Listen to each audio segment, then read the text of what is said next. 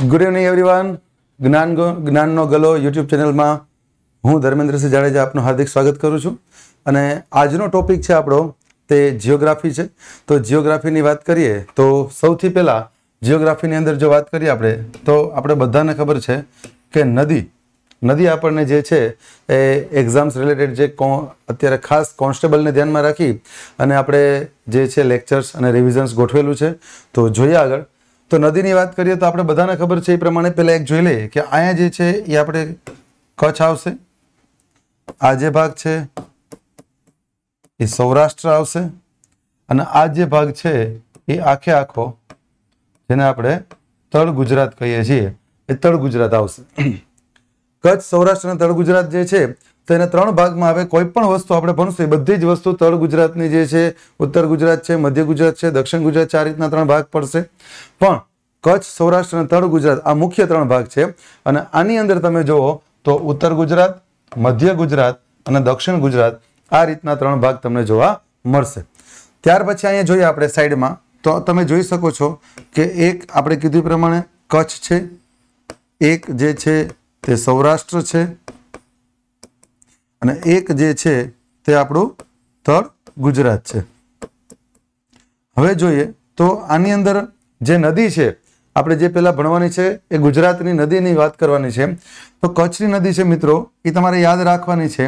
તો આની અંદર આપણે થોડુંક જોઈએ તો આમાં સાત જે છે ને, સાત, એને આપણે એક લસાઅ તરીકે લઈ લઈ આવું આપણે એકાદ વાર કરવું પડે, પછી જરૂર ન પડે, બરાબર? તો અહીંયા જે છે આપણે પાછળ એક મૂકી દઈએ, અહીંયા જે છે આપણે આગળ એક મૂકી દઈએ. એટલે તમે જોઈ શકો છો કે સૌરાષ્ટ્રની નદી કેટલી છે તો કે એકોતેર, જ્યારે તળ ગુજરાતની કેટલી છે તો કે સત્તર.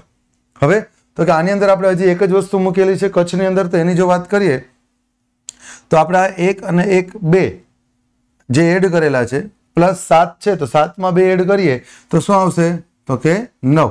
એટલે કચ્છની નદી જે છે એ કેવી છે? તો કે સત્તાણું નદી છે મિત્રો, જે તમને જોવા મળે છે. ત્યાર પછી આપણે જોઈએ તો આપણને ખ્યાલ આવે કે શું છે? તો કે આ સત્તાણું નદી જે છે, એ કચ્છની નદી સૌથી વધુ છે, પણ સૌથી આ કેવી છે?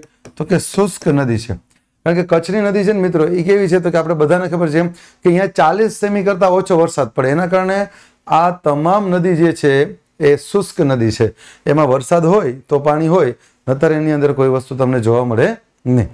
ત્યાર પછી તો અહીંયા તમે જોઈ શકો છો કે આ શું છે? તો કે આપણી ભાષામાં સૌરાષ્ટ્ર છે, બરાબર? તો સૌરાષ્ટ્રની જો વાત કરીએ, તો સૌરાષ્ટ્રની અંદર આપણે નદીઓ ભણશું, ત્યારે વાત કરશું. તો અહીંયા તમે જોઈ શકો છો કે શું છે? તો કે વચ્ચે વચ્ચ જે છે, એ સૌરાષ્ટ્રનો ઉચ્ચ પ્રદેશ આવે.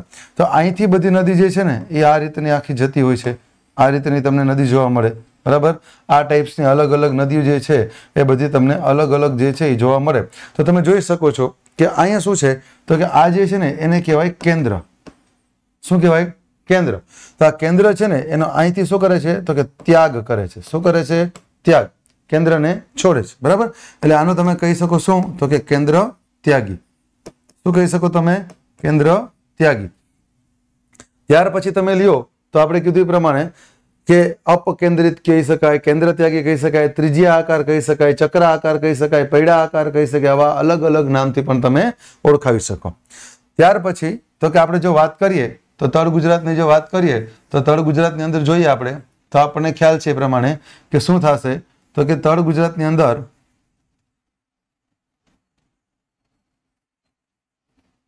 તો અહીંથી કોઈ પણ એક નદી આવે છે, તો એની અંદર આ બીજી નદી જે છે એ શાખા સ્વરૂપે આપણને જોવા મળે. તો તમે જોઈ શકો છો કે અહીંયા જે નદી છે, એ એક નદી આ રીતે જાય છે, એમાં બીજી નદી જે છે એ વચ્ચે જોઈન્ટ થઈ છે. આ ટાઈપ્સનું તમને જોવા મળે. હવે આ ટાઈપની જે વસ્તુ થાય, તો એ તમે જોઈ શકો છો કે કેના જેવું દેખાય છે?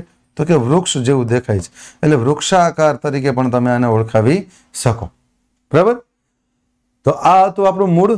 જે ગુજરાતની કુલ નદી કેટલી છે એવું તમને પૂછાય? તો કુલ નદી જે છે એ એકસો ને પિંચ્યાસી નદી છે, મિત્રો યાદ રાખજો. એમાંથી કચ્છની સત્તાણું, સૌરાષ્ટ્રની એકોતેર અને તળ ગુજરાતની સત્તર નદી આપણને જોવા મળે છે.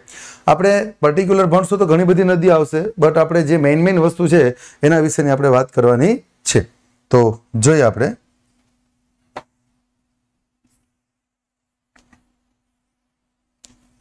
હવે શરૂઆત કરવાની છે આપણે પહેલી. તો શરૂઆત કરશું આપણે શેની? તો કે પહેલાં આપણે કરશું તળ ગુજરાતની નદીથી શરૂઆત કરશું, બરાબર? તો તળ ગુજરાતની નદીની વાત કરીએ તો એમાં આવશે પહેલાં ઉત્તર ગુજરાતની નદી મિત્રો. કેની આવશે? ઉત્તર ગુજરાતની નદી. તો ઉત્તર ગુજરાતની નદી આપણે ખબર છે કે ત્રણ નદી છે, બનાસ, સરસ્વતી અને રૂપેણ. તો એની અંદર પહેલાં જોઈએ આપણે, તો જો વાત કરવામાં આવે, તો આ જે ભાગ છે એ તમે જોઈ શકો છો કે આટલો જે વિસ્તાર છે, આને કહેવાય છે શું મિત્રો? તો કે કચ્છ જે છે આપણું, એ કચ્છનું નાનું રણ કહેવાય. શું કહેવાય? કચ્છનું નાનું રણ. બરાબર? હવે જુઓ, તો અહીંયા આપણે એક રાજસ્થાનની અંદર જે છે એ તમારે એક શિરવણનો ડુંગર આવશે. કેવો આવશે? શિરવણ. આ શિરવણના ડુંગરમાંથી એક નદી નીકળે અને આ રીતે આમ બે ફાટા સ્વરૂપે કચ્છના નાના રણમાં સમાય જાય. તો આ નદી વિશેની થોડી ડિટેલ આપણે સાઈડમાં લખી છે, તમને આઈડિયા આવે. તો આ નદી શું છે? તો કે આ નદીનું નામ છે બનાસ. આ બનાસ નદી જે છે, એ યાદ રાખજો, તો તળ ગુજરાતની અંદર આપણે ત્રણ પાર્ટ પડ્યા, ઉત્તર ગુજરાત, મધ્ય ગુજરાત અને દક્ષિણ ગુજરાત. તો ઉત્તર ગુજરાત જે છે, એની અંદર સૌથી મોટી નદી એવું પૂછાય તમને, તો બનાસ નદી છે બસો ને સિત્તેર કિલોમીટર મિત્રો આ લાંબી છે. ત્યાર પછી વાત કરવામાં આવે, તો બનાસ નદી જે છે, એને બે શાખા નદી છે. એક નદી જે છે એનું નામ છે સિપુ અથવા સિપ્રી. ત્યારે બીજું છે એનું નામ છે બાલારામ. શું છે? બાલારામ. બરાબર?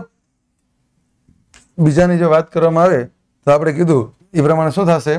તો કે આનું નામ જે છે એ તમને બાલારામ જોવા મળે છે.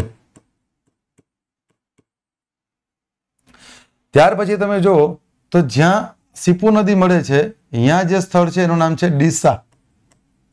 જ્યારે બાલારામ નદી જે છે એ ના કિનારે અહીંયા આવેલું છે પાલનપુર. શું આવશે? પાલનપુર. ડીસા આપણે બધાને ખબર છે, ગુજરાતનું સૌથી ગરમ શહેર છે, સૌથી વધુ ગરમી ત્યાં પડે છે, મિત્રો યાદ રાખજો. ડીસાની અંદર જો બીજી વાત કરવામાં આવે, તો ડીસામાં સૌથી વધુ બટેટા થાય છે, એટલે કે બટેટા સંશોધન કેન્દ્ર પૂછાય, તો ડીસાની અંદર આવેલું છે, એ તમે ખાસ ધ્યાન રાખજો. પાલનપુર આપણે બધાને ખબર છે ફૂલોનું શહેર, સુગંધીઓનું શહેર, બરાબર? તો આ બધી વસ્તુ તમે ધ્યાન રાખજો. આમ તો બધી વસ્તુ આપણે રેગ્યુલર ભણાવેલી છે બટ અત્યારે રિવિઝન છે, છતાં પણ જેટલું થાય એટલું આપણે કરીએ. ત્યાર પછી તમે જુઓ, તો બનાસ નદી છે, એના ત્યાર પછી અહીંયા જે છે, એ કાંકરેજ આવી જાય. શું આવી જાય? કાંકરેજ.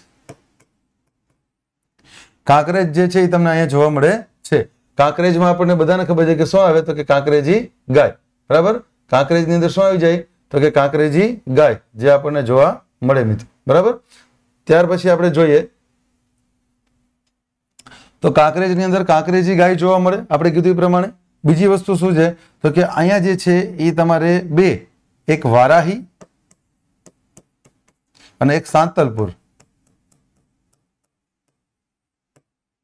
એક વારાહી અને એક સાંતલપુર, એવા બે ફાટા પડે અને ત્યાર પછી એ નદી કચ્છના નાના રણમાં સમાઈ જાય. બરાબર? એના ઉપર અહીંયા એક યોજના છે, જેનું નામ છે, યાદ રાખજો. આપણે બધાને ખબર હશે. છતાં પણ તમને કહી દઉં કે જે યોજના છે, એનું નામ શું છે? તો કે એનું નામ છે, એ છે દાંતીવાડા મિત્રો. શું છે? દાંતીવાડા. યાદ રાખજો. બરાબર? અગેન રિપીટ કરું છું. શિરવાણના ડુંગરમાંથી નીકળે છે અને કચ્છના નાના રણમાં સમાઈ જાય છે. ત્યાર પછી આપણે જોઈએ તો બીજી નદીની વાત કરીએ. તો અહીંયા અગેન આપણે કીધું પ્રમાણે શું છે? તો કે કચ્છનું નાનું રણ છે. અહીંયાથી તમારે જે છે એ ચોરી અથવા મોરીના ડુંગરમાંથી જે નદી નીકળે એનું નામ છે મિત્રો, પહેલાં લખી નાખીએ આપણે કે ચોરી અથવા મોરી. ચોરી અથવા મોરીના ડુંગરમાંથી જે નદી નીકળે એનું નામ છે સરસ્વતી નદી. શું છે? આ સરસ્વતી નદી છે ને વિવાદાસ્પદ નદી છે. જેમ કે તમે સૌરાષ્ટ્રની અંદર જાઓ તો અહીંયા તમને હિરણ, કપિલા અને સરસ્વતી જોવા મળે. જ્યારે ઉત્તર ભારતમાં તમે જાઓ ને તો એની અંદર તમારે શું જોવા મળે? તો કે ગંગા યમુના સરસ્વતી. એટલે સરસ્વતી છે ને એ બહુ વિવાદાસ્પદ નદી છે. પણ અહીંયા આપણે શું છે? પરીક્ષા રિલેટેડ જે બી પૂછાય એ પ્રમાણે આપણે યાદ રાખશું. બરાબર? તો સરસ્વતી નદી છે અહીંયા તમારે વડગામ આવે. શું આવે? વડગામ. ના, વડગામ પાસે જે છે, એ આની અંદર જેમ યાદ હોય તો બનાસમાં આપણે દાંતીવાડા બંધ બાંધ્યો હતો. એમ આની અંદર તમારે આવશે મુક્તેશ્વર બંધ. શું આવી જાય? મુક્તેશ્વર બંધ. મુક્તેશ્વર બંધ બાંધવામાં આવે છે. મિત્રો, ખાસ ધ્યાન રાખજો. જરા અહીંયા હિરણ નદી ઉપર દેવભૂમિ સોરી હિરણ નદી ઉપર ગીર સોમનાથ જિલ્લાની અંદર જો તમને વાત કરવામાં આવે, તો એની અંદર યાદ રાખજો શું છે? તો કે એની અંદર તમારે જે છે એ કમલેશ્વર ડેમ બાંધવામાં આવ્યો છે. બે બંધ છે, મિત્રો. એક હિરણ નદી ઉપર એક બંધ બાંધવામાં આવ્યો છે, જેનું નામ છે, યાદ રાખજો તમે, વેલિંગ્ટન ડેમ, જે જુનાગઢમાં આવેલો છે. જ્યારે બીજો ડેમ છે, એ છે, અહીંયા યાદ રાખવાનું છે, મુક્તેશ્વર. તો અહીંયા આવી જશે તમારે કમલેશ્વર, જેથી આ લિપરિંગ સરખા થતા હોય ને એની અંદર પ્રોબ્લેમ્સ ન થાય ખાસ તમારે ધ્યાન રાખવાનું છે. ત્યાર પછી તમે આગળ આવો, તો અહીંયા પહેલું સ્થળ આવી જાય તમારે શ્રી સ્થળ મિત્રો. બરાબર? શ્રી સ્થળ એટલે આપણે બધાને ખબર છે, શું આવે? સિદ્ધપુર, કે જ્યાં આપણે ઘણું બધું આવે છે, તમને ખ્યાલ જ હશે. સૌ પ્રથમ બહુમાળી ઇમારત ગુજરાતની. તો આવે રુદ્રમાળ જે અહીંયા જે મુડરાજ પહેલાં એ બનાવવાની શરૂઆત કરી હતી, જ્યારે સિદ્ધરાજ જયસિંહ એને પૂરો કરાયો તો આવી બધી વસ્તુ તમને જોવા મળે. ત્યાર પછી તમે આગળ આવો, તો તમને જોવા મળે અહીંયા પાટણ. તો આપણે બધાને ખબર છે કે પાટણ છે શું છે? તો કે પાટણ અણહિલપુર પાટણ કહેવાય છે. વનરાજ ચાવડાએ સ્થાપેલું ઈસવીસન સાતસો છેતાલીસની અંદર. જે પાછું આપણે ઓલરેડી વાત કરી ચૂક્યા છીએ, એટલે મે બી યાદ હશે બધાને. પાટણની અંદર આપણે આગળ ઘણી બધી વસ્તુ ભણી ગયા છીએ. બરાબર? રાણકી વાવથી માંડી અને બધી વસ્તુ આપણે ઓલરેડી કરાવેલી છે. એટલે એ તમે તમારી રીતે જોઈ લેજો. અત્યારે આપણે રિવિઝનમાં મેઇન મેઇન પોઈન્ટ્સ જ લઈએ છીએ, જેથી આપણે બધી વસ્તુ કવર કરી શકીએ. અને છેલ્લે જે છે, અહીંયા પાટણની બાજુમાં આપણે કીધું એમ સહસ્ત્રલિંગ તળાવ આવે તમારે. બરાબર? સહસ્ત્રલિંગ તળાવ. આ સહસ્ત્રલિંગ તળાવ આવે મિત્રો, એ સહસ્ત્રલિંગ તળાવ જે છે, જે સિદ્ધરાજ જયસિંહે બંધાવેલું, એક હજાર ને આઠ શિવ મંદિર અહીંયા આવેલા છે. અને યાદ રાખજો, એની બાજુમાં જ આવે જસમા ઓડણનું ઘર. બરાબર? જે તમે હિસ્ટ્રી વાંચેલી હોય તો તમને ખ્યાલ હોય કે જસમા ઓડણ જે છે એ એને એના ઉપર સિદ્ધરાજ જયસિંહ એ ખરાબ નજર નાખેલી અને એને શ્રાપ આપેલો કે અપુત્ર અવસાન પામે છે. એટલા માટે સિદ્ધરાજ જયસિંહને કોઈ અવસાન, કોઈ પુત્ર જે હતા ને એને પુત્ર વગર અવસાન પામ્યું. ત્યાર પછી આપણે જોઈએ તો અહીંયા કચ્છના નાના રણમાં આ જે છે એ નદી સમાઈ જાય છે. ત્યાર પછી આપણે ત્રીજી નદી લઈ લઈએ મિત્રો, ઉત્તર ગુજરાતની. આની લંબાઈ જો આપણે વાત કરીએ મિત્રો તો જે ઓની બસો સિત્તેર હતી, એમાં આની જે છે ને એકસો ને પચાસ કિલોમીટર લંબાઈ તમને જોવા મળશે. બરાબર? એકસો પચાસ કિલોમીટર લંબાઈ જે છે, એ કેની છે? તો કે સરસ્વતી નદીની તમને જોવા મળે. ત્યાર પછી અહીંયા તમારે ખાસ ધ્યાન રાખવાનું છે. બરાબર? અહીંયા આવશે ટુંગાનો પર્વત. શું આવશે મિત્રો? ટુંગાનો પર્વત. અને આ ટુંગાના પર્વતમાંથી જે નદી નીકળે, એનું નામ છે રૂપેણ નદી. કઈ છે મિત્રો? રૂપેણ. જો અહીંયા રૂપેણ નદી છે, યાદ રાખજો. જ્યારે દેવભૂમિ દ્વારકા આપણે ભણશું ક્યારે? તો કે આપણે જ્યારે બંદર ભણશું, ત્યારે રૂપેણ બંદર આવશે. શું આવશે? રૂપેણ બંદર. ખાસ ધ્યાન રાખજો. ટુંગાના પર્વતમાંથી રૂપેણ નદી નીકળે અને આપણે કીધું એમ કચ્છના નાના રણમાં સમય જાય છે. બીજું શું છે? તો કે રૂપણ નદીના કિનારે એક માત્ર આવે શું? તો કે મહેસાણા. શું આવે? મહેસાણા. ઉત્તર ગુજરાત, એટલે પટણી બોલી કહેવાય મિત્રો. શું બોલાય? ગોંધીજી, એવું બોલે. શું બોલે? ગોંધીજી. નોખની ડોંડીએ ડોંડી એવું કે ખાસ ધ્યાન રાખજો. બરાબર? હમણાં જ પરીક્ષામાં પૂછાઈ ગયેલો સવાલ છે હેડ ક્લર્કની અંદર ઘણાને ખ્યાલ હશે, સિનિયર ક્લર્કની અંદર પૂછાઈ ગયેલો હેડ ક્લર્કમાં સોરી કે ઉત્તર ગુજરાતમાં કઈ બોલી બોલવામાં આવે છે? તો પટણી બોલી આવે. મધ્ય ગુજરાતની અંદર જાઓ તો ચરોતરી બોલી આવે. જ્યારે દક્ષિણ ગુજરાતની અંદર તમે જાઓ તો તમારે સુરતી બોલી બોલવામાં આવે. જ્યારે સૌરાષ્ટ્રની અંદર કાઠિયાવાડી અને કચ્છની અંદર કચ્છી બોલી બરાબર? કડેક તો અચેતા કચ્છ. ત્યાર પછી આપણે જોઈએ આગળ, તો મહેસાણા એક માત્ર અહીંયા આવશે. મહેસાણાની અંદર ડીપમાં તમે જાઓ, તો આપણે જ્યારે રેગ્યુલર ભણ્યા ત્યારે તમને કીધેલું છે, બોતેર કોઠાની વાવ, સિમંદર, જૈન દેરાસર બધી વસ્તુ તમને ઓલરેડી કરાવેલી છે. પણ અહીંયા એક્ઝેક્ટ નીચે તમે આવો, તો અહીંયા આવી જાય તમારે તારંગાનો ડુંગર. શું આવી જાય? તારંગાનો. અને તારંગાના ડુંગરમાંથી નીકળતી નદી, એટલે પુષ્પાવતી નદી મિત્રો કઈ છે? પુષ્પાવતી નદી. અને પુષ્પાવતી નદી જે છે મિત્રો, એની વાત કરવામાં આવે તો એના કિનારે તમને ત્રણ સ્થળ આવે છે, યાદ રાખજો. એક આવશે તમારે એઠોર આવશે. શું આવશે? એઠોર એક દંત ગણપતિનું મંદિર અહીંયા આવેલું છે મિત્રો. ત્યાર પછી અહીંયા બીજું આવે ઉનાવા. શું આવી જાય? ઉનાવા. ઉનાવા એટલે મિત્રો, મીરા દાતારની દરગાહ. કોની આવે? મીરા દાતારની દરગાહ. અને ત્યાર પછી આપણે કીધું એ પ્રમાણે છેલ્લે તમારે આવી જાય શું તો કે મોઢેરા આવી જશે મિત્રો. અને મોઢેરા એટલે આપણે ઓળખીએ છીએ કે સૂર્ય મંદિર. મોઢેરા ખાતે શું આવશે? સૂર્ય મંદિર આવેલું છે મિત્રો, જે તમે જોઈ શકો છો. જ્યાં મોઢેરાનું સૂર્ય મંદિર આપણે ઓળખવામાં આવે છે. અહીંયા આની લંબાઈ જે છે રૂપેણની, એ પંચોતેર કિલોમીટર છે મિત્રો. યાદ રાખજો. બરાબર? એટલે ત્રણ નદી જે છે, એ ઉત્તર ગુજરાતની નદી છે, જેના વિશેની વાત આપણે કરી ચૂક્યા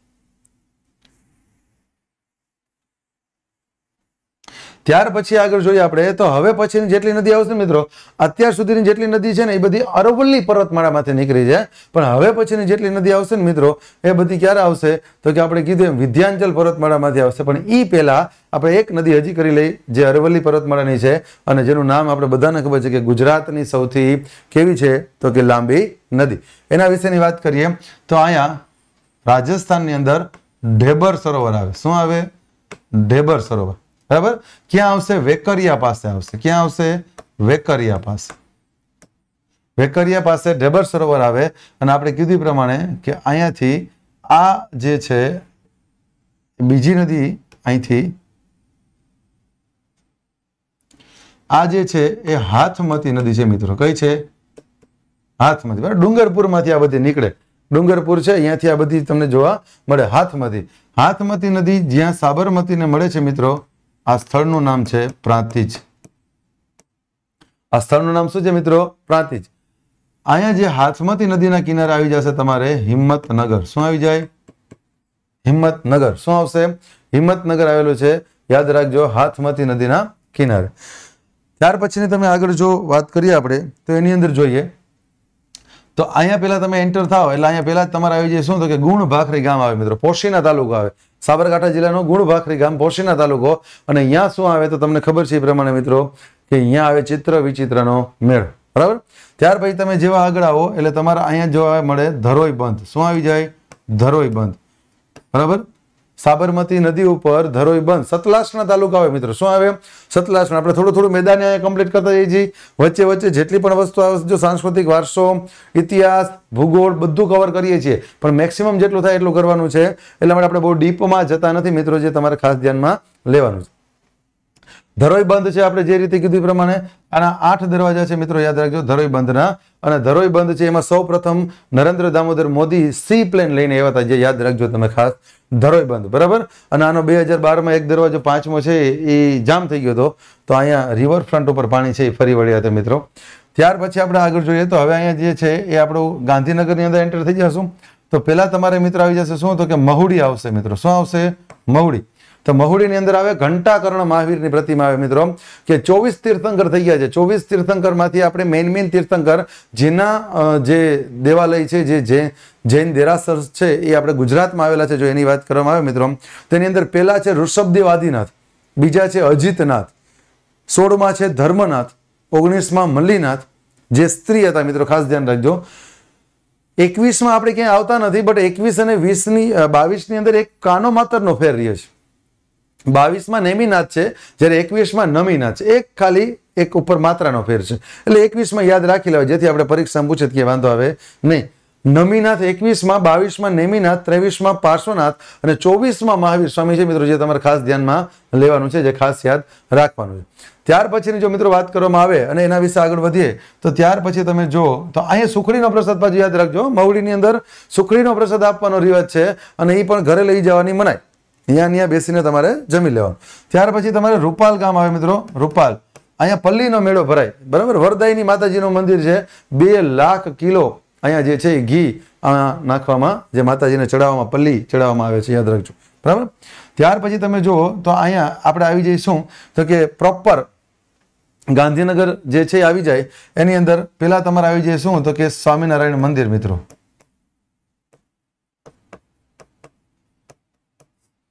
સ્વામિનારાયણ મંદિર છે મિત્રો, યાદ રાખજો બીએ બીએપીએસ આપણે બધાને હોય બોચાસણવાસી જે છે, અક્ષર પુરુષોત્તમ મહારાજ એનું મંદિર જે છે, અહીંયા ખાસ આપણે ખ્યાલ છે એ પ્રમાણે. અને સૌથી વધુ રેકોર્ડ છે, આપણે ખબર છે એ પ્રમાણે શું છે? તો કે સૌથી વધુ મિત્રો રેકોર્ડ છે કે મંદિર બનાવવાનો રેકોર્ડ જે છે, એ તમને આની અંદર જોવા મળે.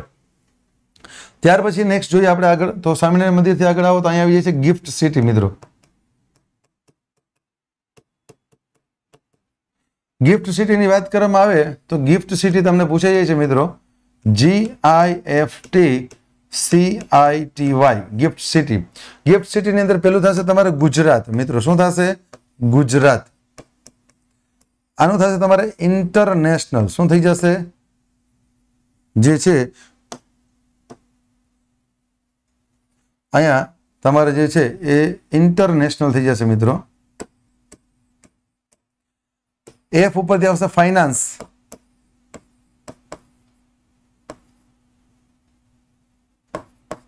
અને છેલ્લે આવી જશે ટેક આ ખાસ ધ્યાન રાખવાનું છે. Gujarat international finance tax city બરાબર? જે તમારે ખાસ પરીક્ષામાં પૂછાઈ જશે. બરાબર? Gujarat international finance tax city જ્યાં આવેલું છે ગાંધીનગર ખાતે ગિફ્ટ સિટી બરાબર? ત્યાર પછી તમે આગળ વધો તો આવી જાય ઇન્દ્રોડા પાર્ક. મિત્રો યાદ રાખજો. બરાબર? ઇન્દ્રોડા પાર્ક આવે છે. ઇન્દ્રોડા પાર્ક, જે ખાસ ધ્યાન રાખજો. બરાબર? હવે તો કે આ જે નદી છે મિત્રો, એની અંદર ખાસ તમારે ધ્યાન રાખવાનું છે કે જે આપણી કેવી છે તો કે ગુજરાતની સૌથી લાંબી નદી છે. બરાબર? ગુજરાતની સૌથી કેવી છે? લાંબી. હવે જો આ નદી છે ને મિત્રો, બરાબર? જેનું નામ છે આપણે સાબરમતી. જેના વિશે હમણાં આપણે ડીપમાં થોડીક વાત કરીએ. પહેલા સાબર નદીને આપણે જે છે કોપાલીની ખાડીમાં પહોંચાડી દઈએ પછી આપણે આગળ વધીએ. હવે તમારે જે છે મિત્રો એ અમદાવાદ જિલ્લો ચાલુ થઈ જશે, પણ અમદાવાદ જિલ્લા પહેલા તમારે ગાંધીનગરમાં ચાર સ્મશાન ગૃહ આવશે. જેમાં તમારે યાદ રાખવાનું છે નાના. શું યાદ રાખવાનું છે? નાના. નાનાનો મિનિંગ શું થશે મિત્રો? તો પેલો એન છે એન ઉપરથી શું આવશે? તમારે ખાસ ધ્યાન રાખવાનું છે કે નર્મદા ઘાટ આવશે. હમણાં આપણે જે નર્મદા નદી ભણશું, ત્યારે તમને ખ્યાલ આવી જશે કે નર્મદા ઘાટ ચીમનભાઈ પટેલની અહીંયા સમાધિ છે. ત્યાર પછી યાદ રાખજો અભય ઘાટ. આ અભય ઘાટ છે મિત્રો, એ અહીંયા બધા તમે જોઈ શકો છો આમ ચિમનભાઈ પટેલ કે જેને બહુ સરસ મજાનું યોગદાન આપ્યું હતું મિત્રો, સરદાર સરોવર યોજના માટે. અભય ઘાટ છે મોરારજી દેસાઈ. મોરારજી દેસાઈ ભારતના પ્રથમ ગુજરાતી વડાપ્રધાન અને ભારતના હજી સુધીમાં સૌથી વધુ બજેટ રજૂ કરનાર કોઈ હોય તો યાદ રાખજો મોરારજી દેસાઈ, કારણ કે હમણાં જે નિર્મલા સીતારામને જે અત્યારે કર્યા છે અત્યારે હમણાં ચોથી વાર બજેટ રજૂ કર્યું, ઘણાને ખ્યાલ હશે. તો આમાં તમારે યાદ રાખવાનું છે કે સૌથી વધુ આઠ વાર બજેટ રજૂ કરનાર નાણામંત્રી કોઈ હોય તો એ હતા કોણ? તો કે મોરારજી દેસાઈ. પાછા છે અહીંયા. તો યાદ રાખજો, નારાયણ ઘાટ, ગુલઝારીલાલ નંદા. અને છેલ્લે હમણાં આપણે અહીંયા અટલ ઘાટ બનાવ્યું. શું બનાવ્યું? અટલ અટલ બિહારી વાજપેયી. તો એ ચાર અહીંયા સ્મશાન ગૃહ આવેલા છે, એટલે કે ચાર જે છે એ ઘાટ આવેલા, સમાધિ સ્થળ છે મિત્રો, યાદ રાખજો. ત્યાર પછી જોઈએ આપણે આગળ.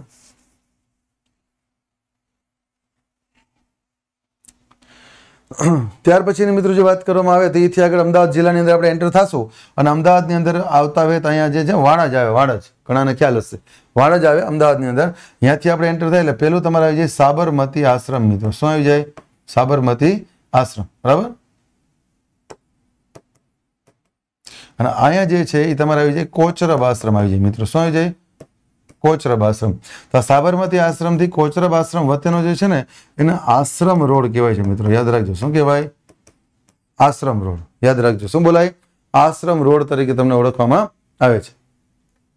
ત્યાર પછી તમે આગળ આવો. તો આની અંદર અલગ અલગ ઘણું બધું આવે છે, પણ આપણે પરીક્ષા રિલેટેડ વાત કરીએ, અગિયાર અલગ અલગ તમને ખ્યાલ છે કે બ્રિજ બાંધેલા છે આના ઉપર, બરાબર? એમાં વિવેકાનંદ પુલ છે, જેનું નામ હતું નહેરુ બ્રિજ જેનું નામ હવે વિવેકાનંદ પુલ કરી નાખ્યું છે. ઋષિ દધીચી પુલ, પેલા એલિસ બ્રિજ હતું મિત્રો, એનું નામ હવે ઋષિ દધીચી પુલ કરી નાખ્યું છે. તો આ પ્રકારના અલગ અલગ નામ ચેન્જીસ કરવામાં આવેલા છે. ત્યાર પછી તમે આગળ આવો, તો આની અંદર અહીંયા પેલા જે છે એ જેવું તમે છેલ્લે મૂકો, બરાબર? એટલે એક પેલા આવી જશે તમારે નળ સરોવર આવી જશે મિત્રો. શું આવી જશે? નળ સરોવર. અને નળ સરોવર પછી તમે જો તો અહીંયા આવી જશે સંત સાગર સરોવર. શું આવી જશે? સંત સાગર સરોવર. એ ખાસ તમારે ધ્યાન રાખવાનું છે. સંત સાગર સરોવર છે, એ ખાસ યાદ રાખજો, એને ગેમ રિઝર્વ માટે, કન્ઝર્વેશન રિઝર્વ માટે આપણે મૂકેલું છે. હજી એને અપ્રુવલ નથી આવેલું. અને છેલ્લે આપણે કીધું પ્રમાણે કે અહીંયા તમે છે એ જોશો તો તમને ખ્યાલ આવી જશે કે અલગ અલગ અલગ જે છે અલગ અલગ આપણે કીધું એમ અગિયાર બ્રિજ આવેલા છે. એથી આગળ વધો એટલે કોચરબ આશ્રમ છે અને સાબરમતી આશ્રમ છે. સાબરમતી આશ્રમની અંદર ઘણી બધી વાતો છે આપણે કરેલી છે કે ગાંધીજીનું નિવાસસ્થાન છે અને હૃદયકુંજ કહેવામાં આવે છે મિત્રો. ત્યાર પછી તો કે આપણે ખબર છે એ રીતે ઘણી બધી વસ્તુ જે છે એ આપણે ઓલરેડી કરાવેલી છે. એની જે બકરી છે એનું નામ હતું નિર્મલા. એમનું જે અતિથિ ગૃહ હતું એનું નામ હતું નંદિની. અહીંયા જે ભજની હતા એનું નામ છે નારાયણ ખરે. બરાબર? આવી ઘણી બધી અહીંયા જે એનું નામ બીજું છે, હરિજન આશ્રમ છે. હાલમાં એને ગાંધી આશ્રમ કહેવામાં આવે છે. ત્યાર પછી અહીંયા હરિજન બંધુ હતા, દંપતી હતા, જેને આપણે ઓળખીએ છીએ, દુદાભાઈ અને દાનીબેન. એની એક દીકરી હતી, લક્ષ્મી, જે ગાંધીજીએ દત્તક લીધી હતી.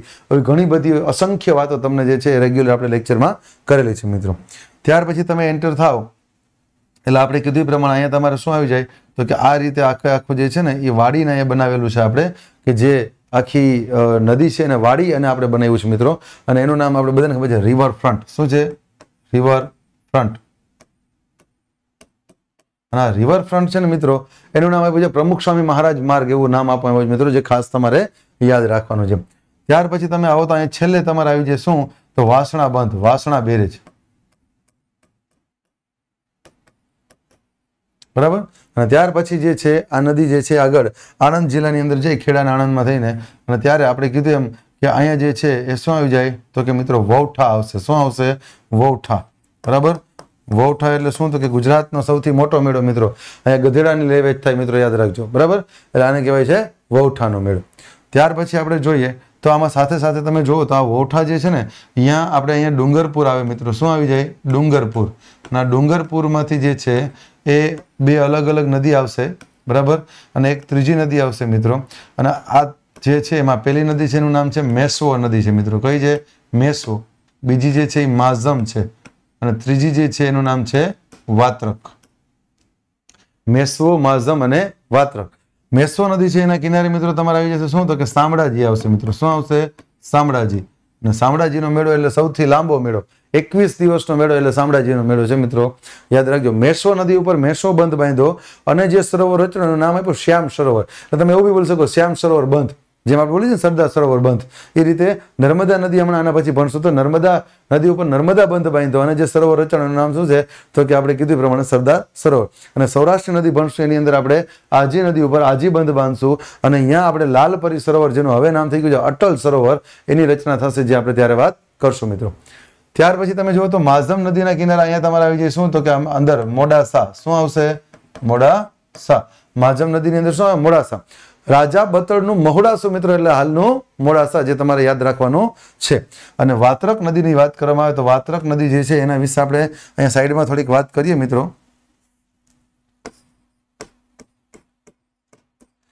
તો વાત્રક નદીના કિનારે મિત્રો ત્રણ સ્થળ આવશે, તમારે યાદ રાખજો. ત્રણ વ્યક્તિ જે છે એ યાદ રાખજો, એમાંથી ખાસ પહેલો લઈ લઈએ આપણે ખેડા. બરાબર? ખેડાની અંદર યાદ રાખજો, સૌથી વધુ દુધાળા પશુ, સૌથી વધુ પાકી સડક, બરાબર? ખેટક રાષ્ટ્રકૂટોની પ્રાચીન રાજધાની એવી ઘણી બધી વસ્તુ આપણને એમાં જોવા મળે. ત્યાર પછી આપણે જોઈએ નેક્સ્ટ તો ખેડાની અંદર વાત કરીએ. ત્યાર પછી બીજો આવશે મહેમદાબાદ, મિત્રો. શું આવશે? મહેમદાબાદ. અને છેલ્લો આવશે ઉત્કંઠેશ્વર. શું આવી જશે? ઉત્કંઠેશ્વર. આ ત્રણ જે છે એ તમારે અહીંયા જોવા મળે. મહેમદાબાદ છે, યાદ રાખજો. મોહમ્મદ બેગડાએ વસાવેલું શહેર. બરાબર? અને મોહમ્મદ બેગડાએ વસાવેલું શહેર એટલે યાદ રાખવાના અંદર શું આવશે? તો કે આપણે મહમુદાબાદ એવું એનું નામ છે. અને ભમરીયો કુવો અને ચાંદો સૂરજ મહેલ મિત્રો આવે આની અંદર જે ખાસ તમારે યાદ રાખવાનું છે. બરાબર? ત્યાર પછી આપણે જોઈએ નેક્સ્ટ તો અહીંથી એક નદી આવશે, જેનું નામ છે ખારી નદી. શું આવશે? ખારી. જ્યારે અહીંયાથી એક નદી આવશે એનું નામ છે સેઢી. હવે જો ખાસ ધ્યાન રાખજો, આ સાત નદીનો સંગમ થાય છે, સાત નદીના પાણીનો સંગમ થાય છે. પણ છતાંય ઘણી જગ્યાએ એમ કહેતા હોય, સાત નદીનો સંગમ અમે ગૌણ સેવાવાળા ખાસ એવું બોલતા એટલે આપણે એ રાખવાનું. જ્યાં લગી પેપર્સની અંદર એ લોકો એમ કહે કે સાત નદીનો તો આપણે કહેવાનું સાત નદી. ખરેખર તો સાત નદીના પાણીનો સંગમ થાય છે. બરાબર? ત્યાર પછી આપણે કીધું એમ કે સેઠી નદી એક. યાદ રાખજો, સાત નદીમાંથી કઈ માત્ર નદી એક એવી છે કે જે વિધ્યાંચલ પર્વતમાળામાંથી આવે તો એકમાત્ર શેઢી નદી આવે. અને શેઢી નદીના કિનારે મિત્રો તમારે શું આવી જાય? તો સેઢી નદીના કિનારે છે એ તમારે આવી જશે, યાદ રાખજો. આ શેઢી નદીના કિનારે નડિયાદ આવે મિત્રો. અને નડિયાદ જે છે એ ખાસ તમારે યાદ રાખવાનું છે. નડિયાદ જે છે એની અંદર તો ત્રણ વ્યક્તિ સરદાર વલ્લભભાઈ પટેલ ત્યાર પછી ઇન્દુલાલ યાજ્ઞિક એટલે કે ઇન્દુ ચાચા અને ગોવર્ધનરામ ત્રિપાઠી જે મહાન નવલકથા સરસ્વતી ચંદ્રના રચયિતા, ચાર ભાગ છે એમાંથી બીજો ભાગ સૌથી મોટો છે, એના રચયિતા એટલે કોણ? તો કે આપણે કીધું એમ, ખાસ ધ્યાન રાખવાનું છે, ગોવર્ધનરામ ત્રિપાઠી. બરાબર? આ બધાનો જન્મ ક્યાં? નડિયાદ. યાદ રાખજો. બરાબર? ત્યાર પછી આપણે આગળ વધીએ અને અહીંયા થલતેજ અને જોધપુર પાસે જે છે, આપણે કીધું એમ કે અહીંયા શું છે? ગોળ માથારી ટેકરી આવી જાય. શું આવી જાય? ગોળ માથારી ટેકરી. અને અહીંયા પછી જે આ ભાગ છે, એને કહેવાય છે કોપાલીની ખાડી. શું બોલાય છે? કોપાલીની ખાડી બરાબર? અને અહીંયા જે છે એ સાબરમતી નદી તેનું મુખ ખોલી નાખે છે. પણ અહીંયા ખાસ એક તમારે યાદ રાખવાનું છે કે વેકરિયા ઢેબર સરોવરમાંથી નીકળતી નદી, જેનું નામ શું છે? તો એનું નામ છે મિત્રો, યાદ રાખજો, સાબર નદી નામ છે. શું નામ છે? સાબર. અને સાબર નદી જે છે, એની કુલ લંબાઈ છે ચારસો ને અઢાર કિલોમીટર છે મિત્રો. ખાસ ધ્યાન રાખજો, ચારસો અઢાર. વિકીપીડિયા મુજબ ત્રણસો એકોતેર થાય છે, પણ આપણે પરીક્ષાને ધ્યાનમાં રાખી અને મંજુલાબેન દવાએ ગુજરાતની ભૂગોળ લખેલી છે, ગુજરાત સરકાર તરફથી. તો એને ધ્યાનમાં રાખીને આપણે આગળ વધવાનું છે મિત્રો. એટલે ચારસો અઢારમાંથી એક આપણે જે છે એ રાજસ્થાનમાંથી નીકળે છે અને એક જે છે એ ગુજરાતમાંથી નીકળે છે.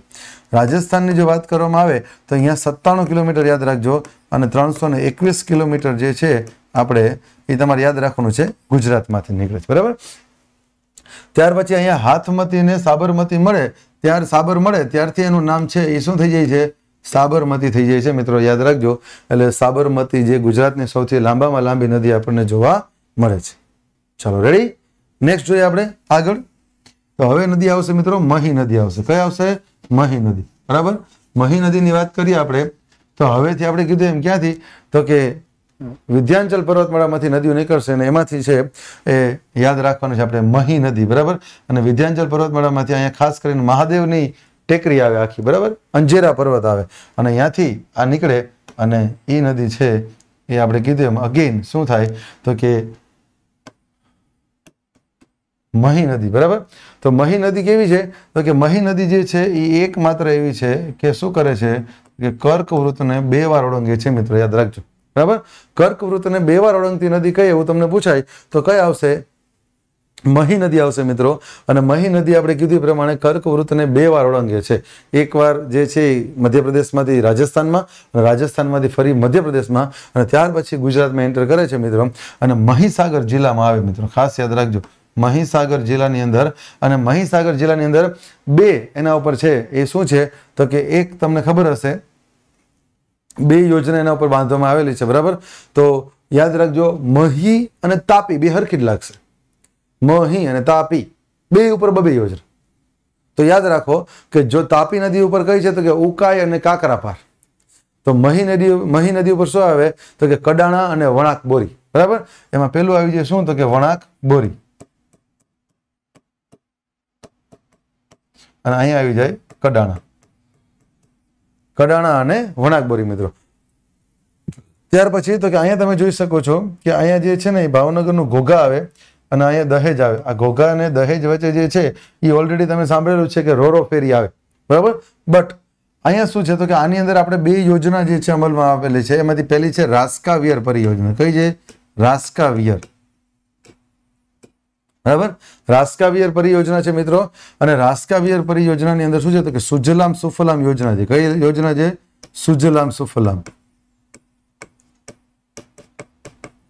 આ સુજલામ સુફલામ યોજના અંતર્ગત મિત્રો જે છે, એ મહી નદી જે છે, એમાં નર્મદા નદીનું પાણી મહીની કેનાલમાં નાખવામાં આવે. ત્યાંથી આગળ આગળ આગળ સૌરાષ્ટ્રના અહીંયા અમરેલી સુધી જે છે આ ફેલાયેલું છે. અહીંયા ચાવંડ સુધી આનું પાણી તમને મોકલવામાં આવે મિત્રો. એટલે રાસ્કાવિયર પરિયોજના છે, યાદ રાખજો. હાલમાં પણ સુજલામ સુફલામ યોજના છે ને આપણે શરૂ જ છે. કઈ રીતે શરૂ છે? તો કે એક મે થી એકત્રીસ મે સુધી આપણે આ વસ્તુ જોવા મળે છે મિત્રો. એક મે થી એકત્રીસ મે સુધી આ તમને જોવા મળે. ત્યાર પછી આપણે આગળ જોઈએ મિત્રો. તો બીજી છે, તમે યાદ રાખજો, કલ્પસર યોજના. કઈ છે? કલ્પસર યોજના. આ કલ્પસર યોજના શું છે? તો કે એમએસ યુનિવર્સિટીના પ્રોફેસર છે અનિલ કાણે, એની દેન છે. એને એવું કીધું કે ભાવનગરના ઘોઘાથી દહેજ જે છે ભરૂચના, એની વચ્ચે જો એક દિવાલ બાંધી લેવામાં આવે, તો અહીંયા આપણે સાબરમતીનું, મહીનું, નર્મદાનું બધું પાણી આ વિસ્તાર છે, એમાં આપણે સ્ટોરેજ કરી શકીએ અને એને આપણા આજુબાજુના વિસ્તારમાં આપણે વાપરવા માટે ઉપયોગમાં લઈ શકીએ. બરાબર? ત્યાર પછી જોઈએ આપણે તો આ કલ્પસર યોજના છે, યાદ રાખજો, અહીંયા અનિલ કાણેની દેન છે. કોની છે? અનિલ કાણે. અને આ અનિલ કાણે કોણ હતા મિત્રો? બરાબર? તો અનિલ કાણેની જો વાત કરવામાં આવે, આપણે કીધું પ્રમાણે, તો અનિલ કાણે જે છે મિત્રો, એ એમ એસ યુનિવર્સિટીના પ્રોફેસર હતા. બરાબર? અને એને આ કીધું હતું, ત્યાર પછી આ નદી છે, આગળ જાય વોહરાની ખાડીમાં. ક્યાં જાય? વોહરાની ખાડીમાં. વોહરાની ખાડીની અંદર આ જાય, અને અહીંયા ખાસ ધ્યાન રાખજો, આ એટલી પહોળાઈ ધરાવે કે અહીંયા એક કિલોમીટરનું અંતર છે. એટલા માટે અહીંયા મહીને શું કહેવાય છે? આ મહી નદી જે છે ને, એ કેવી છે? તો કે સાગર જેવી દેખાય છે. કેવી દેખાય છે? સાગર જેવી. એટલે આનું નામ પડ્યું છે મહી સાગર યાદ રાખજો. વોહરાની ખાડી પૂછાય, તો યાદ રાખજો. આણંદ જિલ્લાની અંદર આવશે આપણે, ભરૂચ જિલ્લામાં. ત્યાર પછી યાદ રાખજો, આણંદ જિલ્લા પાસે યાદ રાખવાનું તમારે. વહોરાની ખાડી આણંદમાં આવશે. વહોરાનો હજીરો જામનગરમાં આવશે અને વહોરાની હવેલી છે એ પાટણમાં આવશે, સિદ્ધપુર. યાદ રાખજો ખાસ. બરાબર? અને આની મહી નદીની કુલ લંબાઈ પૂછાય મિત્રો, તો કુલ લંબાઈ એની પાંચસો કિલોમીટર છે અને ગુજરાતની અંદર એની એકસો ને એંસી કિલોમીટર જે છે, આ ગુજરાતમાં છે આ એની કુલ લંબાઈ છે, જે તમારે ખાસ યાદ રાખવું ત્યાર પછી જોઈએ આપણે નેક્સ્ટ.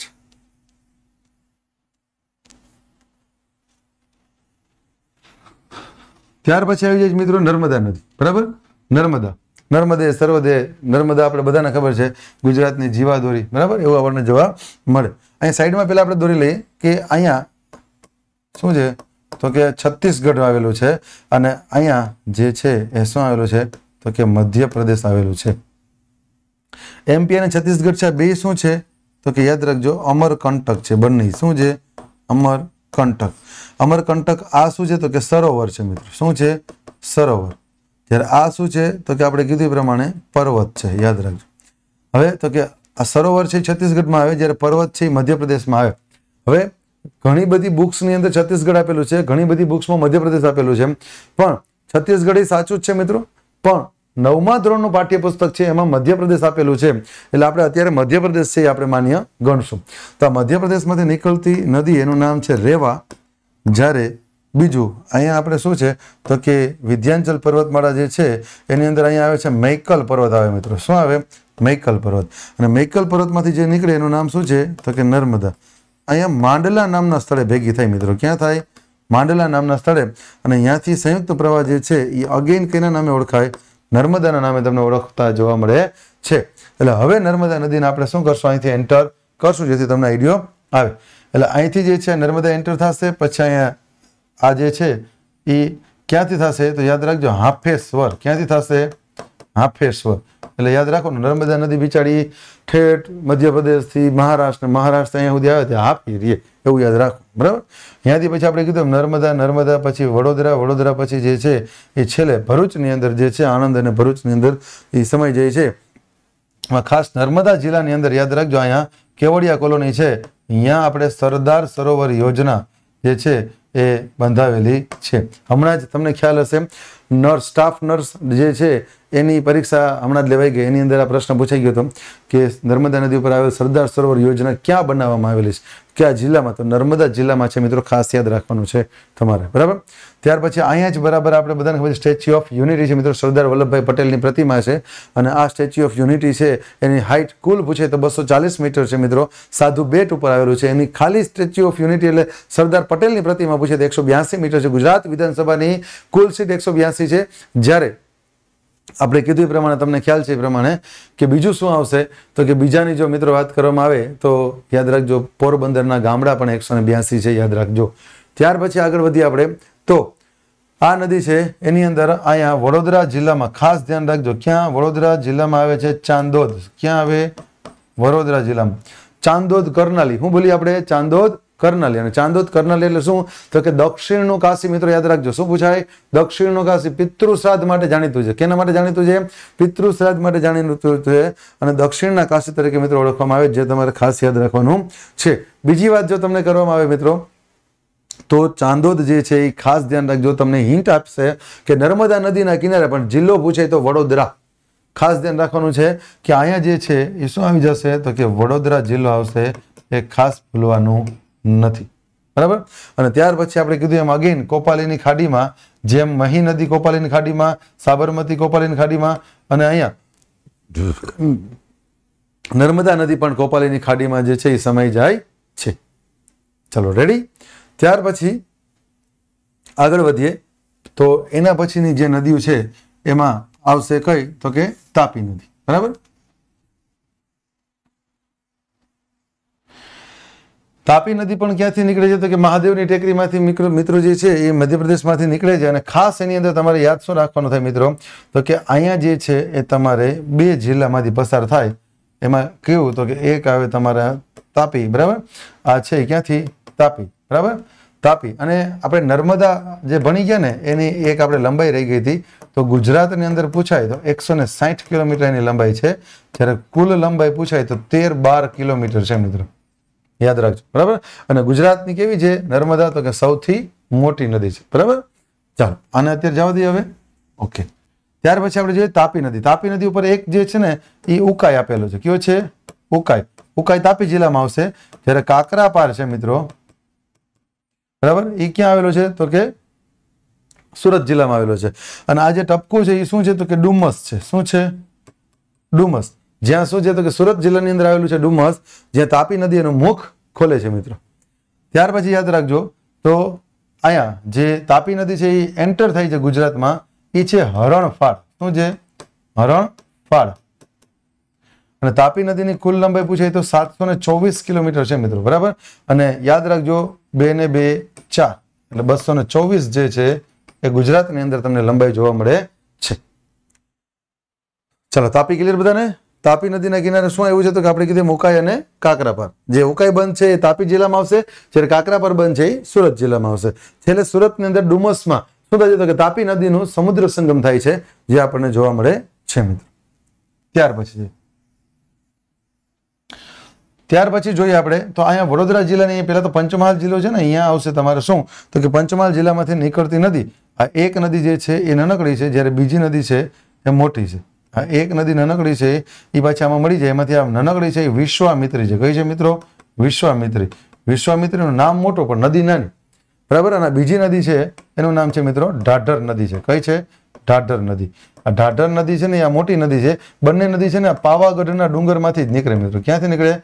પાવાગઢના ડુંગરમાંથી, પંચમહાલ જિલ્લાના પાવાગઢના ડુંગરમાંથી નીકળે અને આ પર્વત તમે આપણે આગળ ભણશો જ્વાળામુખી જન્ય પર્વત કહેવાય, બરાબર? અને વિશ્વામિત્રી નદી જે છે, એ યાદ રાખજો ક્યાંથી નીકળે છે? પાવાગઢના ડુંગરમાંથી નીકળે અને યાદ રાખજો, તમને પૂછાઈ જાય કે ઢાઢર નદીને મળી જાય છે. હવે તો કે વિશ્વામિત્રી નદીમાં સૌથી વધુ શું છે? તો કે મગરો. એટલે યાદ રાખજો, મગરોની નદી કહેવાય છે. અને બીજું તમને પૂછાય તો ગુજરાતની લીમપોપો કહેવાય છે. મિત્રો, યાદ રાખજો. શું કહેવાય છે? ગુજરાતની લીમપોપો. લીમપોપો નદી છે ને મિત્રો, એ વિશ્વની નદી છે સૌથી જે છે એ મોટી, સૌથી વધુ મગરોની નદી. અને લિમ્પોપો નદી આફ્રિકામાં આવે મિત્રો બે વાર મકર વૃતને ઓળંગતી નદી. જેમ આપણે મહી નદી અહીંયા બે વાર કર્ક વૃતને ઓળંગી હતી ને, એ રીતે બે વાર મકર વૃતને ઓળંગતી નદી પૂછાય તમને, તો એ નદીની અંદર આવશે શું? તો કે લિમ્પોપો નદી. ભારતની પૂછાય તો તમારે યાદ રાખવાનું છે મહી નદી જે છે એ પ્રમાણે બીજી છે મહાનદી. એટલે મિસ્ટેક ન થાય એટલે ખાસ ધ્યાન રાખજો. બરાબર? જો શું થશે? તો કે એક આપણે કીધું એમ મહી નદી છે અને એક આવશે ભારત લેવલે મહાનદી. એ પણ આ ગુજરાતની લીમપોપો છે. એમ ઓલી શું થશે? ભારતની લીમપોપો પછી તો કે પાવાગઢના ડુંગરમાંથી જ નીકળતી બીજી નદી છે મિત્રો ઢાઢર નદી. ઢાઢર નદીની જો વાત કરવામાં આવે, તો ઢાઢર નદી જે છે, એ ખાસ ધ્યાન રાખજો. એ મુખ્ય નદી છે. જ્યારે વિશ્વામિત્રી છે, એ એની કેવી છે? શાખા નદી છે. બરાબર? સૂર્ય, આવી બધી દેવ, આવી બધી શાખા નદી આવે. પણ ઘણી બધી આપણે કીધું ને એ પ્રમાણે, તો એમાં જેટલી પૂછાય એટલી આપણે વાત કરીએ છીએ. વિશ્વામિત્રી નદી છે, યાદ રાખજો કે અહીંયા પાવાગઢના ડુંગરમાં વિશ્વામિત્ર ઋષિએ શું કર્યું હતું? તો કે અહીંયા જે આપણે એકાવન શક્તિપીઠમાંની એક મહાકાળી માતાજીનું મંદિર જે છે, એની સ્થાપના કરી હતી અને એના કારણે આપણે આ બધી વસ્તુ તમને મિત્રો જોવા મળે છે. ખાસ તમારે ધ્યાન રાખવાનું છે કે એના કારણે આપણે કીધું પ્રમાણે કે આ બધી વસ્તુ જે છે, એના હિસાબે આપણે ત્યાં જે નીકળતી નદી છે એનું નામ આપવામાં આવ્યું છે. શું તો કે વિશ્વામિત્રી નદી. અહીંયા દુધ્યુ છાસ્યું તેલિયું. હવે દુધ્યુ છાસ્યું તેલિયું ખરેખર શું છે? કે જ્વાળામુખીના મુખ છે મિત્રો. એના કારણે અહીંયા ખાડો પડી ગયો છે અને એટલા માટે એ એક પ્રકારનું તળાવની રચના કરે. એટલે દુધ્યુ છાસ્યું ને તેલિયું તળાવ છે એ ત્યાં આવેલું છે. મિત્રો, યાદ રાખજો. જ્યારે તેન તળાવ પૂછે તો ડભોઈ. બરાબર? અને ડાક ડભોઈ, આ ઢાઢર નદીના કિનારે પાછો આવી જશે તમારે ડાક ડભોઈ, બરાબર? અને આ વિશ્વામિત્રી નદીના કિનારે તમારે આવી જશે વડોદરા, મિત્રો, યાદ રાખજો. શું આવશે? વડોદરા. ના, વડોદરાનો તાલુકો છે ડભોઈ, જે પાછો ઢાઢર નદીના કિનારે આવશે એમ. બરાબર? ઢાઢર નદીની લંબાઈ એકસો બાર કિલોમીટર છે, પણ એ તમને ખાસ કોઈ પૂછાય નહીં, મિત્રો. બરાબર? ચાલો નેક્સ્ટ જોઈએ આપણે. તો નેક્સ્ટ શું છે? નદીની અંદર મિત્રો ઘણી બધી આવે, કીમ નદી, પાર નવ- નદી ઘણી બધી આવે, પણ મેઇન મેઇન નદીની વાત કરીએ તો એમાં એક નદી આવી જશે તમારે મિત્રો હવે તો કે અહીંયા જે છે, દક્ષિણમાંથી જે છે, આ નદી આવશે, બરાબર? દક્ષિણની અંદર ખાસ કરીને અહીંયા આવી જશે તમારે સહ્યાદ્રી પર્વત આવી જશે. કયું આવી જશે? સહ્યાદ્રી પર્વત. આ સહ્યાદ્રી પર્વતની વાત કરવામાં આવે મિત્રો, તો સહ્યાદ્રી પર્વત જે છે, એની અંદર શું આવશે? તો કે સહ્યાદ્રી પર્વતમાંથી નીકળતી નદી, જેનું નામ છે અંબિકા નદી. શું નામ છે? અંબિકા. સાપુતારાનો ડુંગર આવે અહીંયા. શું આવે? સાપુતારા. આ સાપુતારાના ડુંગરમાંથી નીકળે મિત્રો, અને ત્યાર પછી આ નદી જે છે એ ડાંગ જિલ્લામાં થઈ, તાપીમાં થઈ, અને પછી આપણે કીધું પ્રમાણે શું છે તો કે અહીં છેલ્લે અરબ સાગરને મળી જાય છે. અને ખાસ ધ્યાન રાખજો મિત્રો કે શું આવશે તો કે અંબિકા નદી ઉપર છે ને, એ નવસારી થઈને આવશે. સરિયા બરાબર? અહીંયા જે છે ક્યાંથી જશે તો કે સાપુતારા ડાંગમાં થઈ, પછી સીધી ક્યાં આવી જશે? નવસારીમાં. અને નવસારીની અંદર આવશે મિત્રો mother India dam. Mother India dam જે છે એ આવશે નવસારીમાં. જ્યારે મિત્રો યાદ રાખજો, આના ઉપર આવશે ગીરા ધોધ શું આવશે? હવે આ ગીરા ધોધ છે ને મિત્રો, એ તમે ધ્યાન રાખજો, ડાંગની અંદર પાછી ગીરા નદી છે. પણ ગીરા ધોધ આવશે ડાંગ જિલ્લામાં. જે કઈ નદી ઉપર? અંબિકા નદી ઉપર. અંબિકા નદી ઉપર ગીરાધોધ, જ્યારે અંબિકા નદી ઉપર બંધ પૂછાય તો મધર ઇન્ડિયા ડેમ નવસારીની અંદર, જ્યારે ગીરાધોધ પૂછે તો ડાંગ જિલ્લાની અંદર તમને જોવા મળે છે. આ એક નદી તમને પરીક્ષા રિલેટેડ પૂછાય એવી હતી, એટલે આપણે લઈ લીધી. બરાબર? ત્યાર પછી આપણે જોઈએ નેક્સ્ટ મિત્રો. તો નેક્સ્ટ જો તમને વાત કરવામાં આવે અને આગળ વધીએ આપણે, તો બીજી કઈ છે? તો એના માટે આપણે જોઈએ. પરીક્ષા રિલેટેડ જે છે મેન મેન એના વિશે વાત કરીએ તો એક આવી જશે, તમારે કોલક નદી આવશે મિત્રો. કઈ આવશે? કોલક. હવે જેટલી નદી છે ને એ બધી તમારે સહ્યાદ્રી પર્વતમાંથી જ નીકળે. બરાબર? એ સહ્યાદ્રી પર્વત સાપુતારા ડુંગરમાંથી નીકળે. અને આપણે કીધું એમ, તો અહીંયા યાદ રાખજો, કોલક નદી જે છે, એમાંથી કાલુ માછલી મળી આવે છે. આ તમને પૂછાય છે. બરાબર? શું મળી આવે છે? કાલુ માછલી. કાલુ માછલી એટલે પર્લ ફિશ કહેવાય મિત્રો. શું છે પર્લ ફિશ? કે અહીંયાથી તમને મોતી આપતી માછલી કહેવામાં આવે છે. મિત્રો, યાદ રાખજો, જે તમને પરીક્ષા રિલેટેડ પૂછાય છે. અને ઓઇસ્ટર નામના છીપમાંથી આપે છે. કેમાંથી આપે છે? ઓઇસ્ટર નામનું છીપ. આવી જ માછલી તમને પિરોટન ટાપુ જે છે એમાં પણ તમને જોવા મળે મિત્રો. જે તમારે ખાસ ધ્યાન રાખવાનું છે. આપણે કીધું પ્રમાણે તમારે યાદ રાખવાનું છે. કોલક નદી જે છે એ તમારે પરીક્ષામાં પૂછાય છે. અને આના કિનારે આવેલું છે મિત્રો કયું? તો કે પારસીનું કાશી એટલે ઉદવાડા. શું આવે? ઉદવાડા. પારસીનું કાશી જે છે એ ઉદવાડા આપણને જોવા મળે. છે, જે તમારે આમાં ખાસ ધ્યાન રાખવાનું છે, મિત્રો. પારસી ઈરાનથી આવ્યા હતા, સંજાણ બંદરે ઉતર્યા હતા ઝાદી રાણા રાણા ઝાદી રાણા ત્યારના રાજા હતા. ત્યાર પછી આવું બધું તમને પરીક્ષા કરી પવિત્ર અગ્નિ લાવ્યા હતા, જેનું નામ હતું ઝેદ અવેસ્તા. ખાસ ધ્યાન રાખજો. એ લોકો આતિશ બહેરામ કહેવાય. આતિશ બહેરામ એટલે પવિત્ર અગ્નિ, એની પૂજા કરે. એનો પવિત્ર ગ્રંથ એટલે ઝેદ અવેસ્તા છે, મિત્રો. ખાસ ધ્યાન રાખજો, સાલમુ બારક શબ્દ છે, પારસીનો છે. મુસ્લિમ ઇસ્લામિક શબ્દ નથી, મુબારક શબ્દ વાંચી અને ઇસ્લામિક નો લખ્યા હતા. સાલ મુબારક શબ્દ કેનો છે? પારસી શબ્દ છે, જે તમે ભૂલતા નહીં મિત્રો. બરાબર? અને ત્યાર પછી આપણે બધાને ખબર છે, એનું જે છે એ સ્મશાન છે, એને શું કહેવાય છે? દમખુ. શું બોલાય? દમખુ. ટાવર ઓફ સાયલન્સ એવું કહેવાય. અને છેલ્લી નદી મિત્રો અહીંયા જે આવે છે, એનું નામ યાદ રાખજો તમે. દમણ ગંગા કઈ નદી છે? દમણ ગંગા બરાબર? દમણ ગંગા સહ્યાદ્રી પર્વતમાંથી નીકળે અને અહીંયા તમને ખ્યાલ હશે, શું આવે? તો કે અહીંયા પાર નેરાની ટેકરી આવે મિત્રો. શું આવે? પાર નેરાની ટેકરી પાર નેરાની ટેકરીનું સૌથી ઊંચું શિખર એટલે વિલ્સન થાય. જ્યારે વિલનસ અથવા તો વર્તુ, એવો દેશ છે. ડાંગની વસ્તી જેટલી વસ્તી છે, વર્તુ દેશની, વિચારો. તો પારનેરાની ટેકરી એટલે શું થશે? સૌથી ઊંચી શિખર એટલે વિલ્સન. અને વિલ્સન છે, અહીંયા આવેલું છે અતુલ રંગ રસાયણ પારનેરાની ટેકરી ઉપર. અને આ જે આપણી દમણગંગા નદી છે મિત્રો એ દમણગંગા નદીની અંદર શું થાય છે? તો કે આ દમણગંગા નદી જે છે મિત્રો એ દમણગંગા નદી ઉપર દમણગંગા યોજના બાંધવામાં આવી છે. અને બીજી વસ્તુ તમારે યાદ રાખવાની છે મિત્રો, કે અહીંયાથી અતુલ રંગ રસાયણ છે, અહીંયાથી સૌથી વધુ પ્રદૂષણ આ નદીમાં જાય છે. એટલે આનું નામ પડ્યું છે પિંકીસ રેડ અથવા તો ગુલાબી લાલ નદી. શું થશે મિત્રો? ગુલાબી લાલ. ચાલો ક્લિયર તો અહીંયા તમારી જે છે એ તળ ગુજરાતની નદી છે આપણે અહીંયા પૂરી જાહેર કરીએ છીએ. ત્યાર પછી મિત્રો આવી જાય આપણે કચ્છની નદી તંત્રની અંદર. તો કચ્છનું નદી તંત્ર આપણે ભણી ગયા છીએ. કચ્છનું નદી તંત્ર છે એ સૂકું નદી તંત્ર છે. અને અહીંયા જે છે મિત્રો તમારે આવી જશે શું? તો કે યાદ રાખજો ચાળવાનો ડુંગર. શું આવી જશે? ચાળવાનો ડુંગર. અને ચાળવાનો ડુંગર છે ને અહીંયાથી જે છે એ આ વચ્ચેનો જે ભાગ છે ને આ મધ્યધાર બોલાય. શું બોલાય? મધ્યધાર. ત્યાંથી ઉપરના જે જાય ને એને ઉત્તર વાહિની નદી કહેવાય અને દક્ષિણમાં જે નદી આવે ને મિત્રો, એને દક્ષિણ વાહિની નદી તરીકે તમે ઓળખવામાં આવે, જે તમારે ખાસ ધ્યાન રાખવાનું છે. અહીંયાથી જે એક નદી નીકળે છે મિત્રો, એની જો વાત કરવામાં આવે, બરાબર? તો આ નદી જે છે, એનું નામ છે ખારી નદી મિત્રો. શું નદી છે? ખારી. કચ્છમાં સારામાં સારી નદી કોઈ કહી શકો? તમે તો એક છે, ખારી નદી તમને જોવા મળે. અને ખારી નદી છે, એના ઉપર યાદ રાખજો, અહીંયા અહીંયા આવેલું છે ભુજિયો ડુંગર આવે. કયો આવે? ભુજિયો. એટલે કે ભુજ શહેર આવે. અને અહીંયા આપણે જે છે બંધ બાંધ્યો છે, મિત્રો યાદ રાખજો, રુદ્ર માતા બંધ સાઈડ શું છે? રુદ્ર માતા. આ રુદ્ર માતા બંધ સાઈડ છે, મિત્રો, એની ઉપર તમને જોવા મળશે. જ્યારે અહીંયા સરસપુર નામનું ગામ છે, મિત્રો, એક સરસપુર. અહીંયા આપણે શું બાંધ્યું છે તો કે રક્ષક વન છે, મિત્રો, યાદ રાખજો. શું છે? રક્ષક વન. બરાબર? આ એક નદી તમને પરીક્ષાની અંદર આમાં પૂછાય. બીજી વસ્તુ તમે જો અહીંયા, તો આ નદી જે છે, એનું નામ આપણે અહીંયા ઉપર લખી નાખી. આનું નામ છે કંકાવટી નદી છે મિત્રો. કઈ છે? કંકાવટી. આ કંકાવટી નદીના કિનારે અહીંયા જે છે, એ તમારે આવી જાય સુથરી આવી જાય. શું આવી જાય? સુથરી. આ સુથરી છે, એ યાદ રાખજો. જખો, કોઠારા, સુથરી, તેરા અને નલિયા. આ પાંચ જે છે જૈન ધર્મના શું છે પંચ તીર્થ અહીંયા આવેલા છે, યાદ રાખજો તમે. એમાંથી સુથરી એટલે બળવંત સાગર બંધ શું થશે?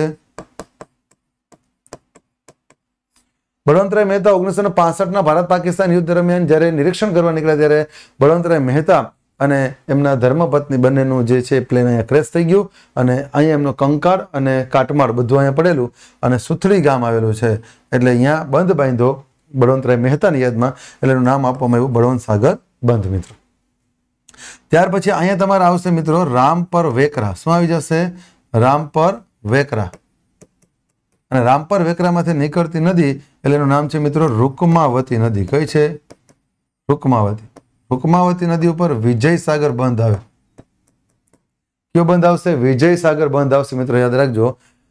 અને અહીંયા જે સ્થળ છે એનું નામ છે માંડવી મિત્રો. શું આવશે? માંડવી. જ્યાં વિજય વિલાસ પેલેસ આવે. શું આવે? વિજય વિલાસ પેલેસ. ત્યાર પછી તમારે યાદ રાખવાનું છે અહીંયા ભૂખી નદી છે. કઈ છે? ભૂખી. અને અહીંયા છે કેવડી. શું યાદ રાખવાનું? ભૂખી કેવડી? તો મુંદરા જેવડી, એવું યાદ રાખવાનું. શું? ભૂખી કેવડી? તો મુંદ્રા જેવડી. એટલે ભૂખી નદી જે છે મિત્રો, અને કેવડી નદીના સંગમ સ્થાને શું આવે? મુંદ્રા આવે. જેમ રંગમતી અને નાગમતી નદીના સંગમ સ્થાને શું આવે? તો આપણને ખબર છે એ રીતે કે અહીંયા આવી જશે તમારે જામનગર. બરાબર? તો અહીંયા મિત્રો આપણે આટલું રાખીએ છીએ. એક થોડુંક જે તથ્ય છે એના વિશેની વાત કરી લઈએ આપણે. તો જે તમે સાંભળ્યું હશે કે શું છે? તો કે એક તમે નામ સાંભળ્યું હશે સૂરજબારી મિત્રો, યાદ રાખજો, બરાબર? તો સૂરજબારી શું છે? તો ત્રણ વસ્તુ છે, એક તમને કહી દઉં છું, આ પુલ છે. બીજું તો કે મિત્રો આ બંધ છે. અને ત્રીજું જે છે, એનું નામ છે અલ્લાહ બંધ. શું છે? અલ્લાહ બંધ નામ આપવામાં આવ્યું છે. મિત્રો, યાદ રાખજો. આ ત્રણેય વસ્તુ શું છે? એના વિશેની જો વાત કરીએ આપણે, તો સુરજબારી મિત્રો, યાદ રાખજો, પુલ શું છે? તો કે સૌરાષ્ટ્ર અને કચ્છને જોડતો પુલ છે, જેને કહેવાય છે સુરજબારી પુલ. બીજી વસ્તુ, મિત્રો, જો તમને કહેવામાં આવે ને તમારે યાદ રાખ્યું હોય, તો બીજું એ પછી સુરજબારી બંધ? આ સુરજબારી બંધ, મિત્રો, ખાસ ધ્યાન રાખજો તમને ગોટે ચડાવશે. શું કામ? કારણ કે સુરજબારી બંધ એ કોઈ પણ નદી પરનો બંધ નથી, મિત્રો. શું નથી? નદી પરનો બંધ નથી. કચ્છના રણને આગળ વધતું અટકાવવા માટે ગાંડા બાવળની હારમાળા કરી. ઇઝરાયલે કરી હતી મિત્રો, કોને કરી હતી ઇઝરાયલે. કોના કહેવાથી? અમેરિકાના કહેવાથી. અમેરિકાએ ઇન્દિરા ગાંધીને કીધું કે તમે આ રીતે ઉપરથી હેલિકોપ્ટરમાંથી છંટકાવ કરો, તો તમારું કચ્છનું રણ રણ છે ને આગળ વધતું અટકાવી શકાય. પણ ખરેખર જે લોકોને ખબર હોય મિત્રો, એને જ ખબર હોય કે કચ્છનું રણ હોય કે કોઈ પણ વસ્તુ હોય મિત્રો, કે કાંટાળી વનસ્પતિ છે ને ભૂમિગત જળ શોષી લે મિત્રો. જે ખાસ ધ્યાન રાખવાનું બરાબર? એટલે અને અલ્લાહબંધ છે, આજથી બસો વર્ષ પહેલા અઢારસો ઓગણીસની સાલમાં એક સુનામી આવ્યો હતો કચ્છની અંદર.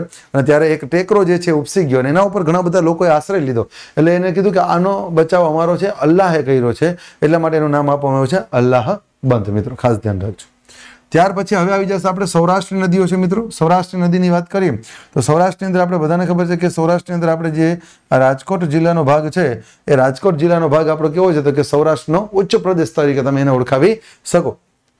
એની અંદર અહીંયા પહેલાં તમારે આવી જશે મિત્રો શું છે તો કે મદાવાનો ડુંગર છે મિત્રો. કેનો જે મદાવાનો ડુંગર જે છે એ તમને અહીંયા જોવા મળે. અહીંયા તમને કારણ કે આપણે ઘણી બધી અહીંયા કરવાની છે એટલે માટે નાના નાના અક્ષર કરું છું. મદાવા અને ડુંગર છે, મિત્રો, યાદ રાખજો. ત્યાંથી જે નદી નીકળે છે, એનું નામ છે, મિત્રો, યાદ રાખજો. ભાદર નદી છે, મિત્રો, કઈ છે? ભાદર નદી. આપણે એવું હશે તો પછી ઇરેસ કરી નાખશું, બરાબર? એક નદી અત્યારે સ્ટાર્ટિંગમાં કરી લે, પછી બાકીનું જોશ. અથવા જેટલી થતી હશે એટલું આપણે કહી દઈએ. બાકીનું મૌખિક વધારે કહીશ, મિત્રો, કારણ કે આમાં લખશું, એટલે આપણે થોડું લેટ થશે, એટલે જેથી તમારે ઓછા સમયની અંદર વધારે કઈ રીતે રિવિઝન થાય, એના માટે આપણે આમાં કામ કરવાનું છે. તો મદાવાના ડુંગરમાંથી નીકળતી નદી છે, એનું નામ છે ભાદર નદી મિત્રો. અને ભાદર નદી એટલે શું છે? તો કે ગુજરાતમાં જ ઉદ્ભવતી અને ગુજરાતમાં જ વહેતી ગુજરાતની સૌથી તમને લાંબી અને મોટી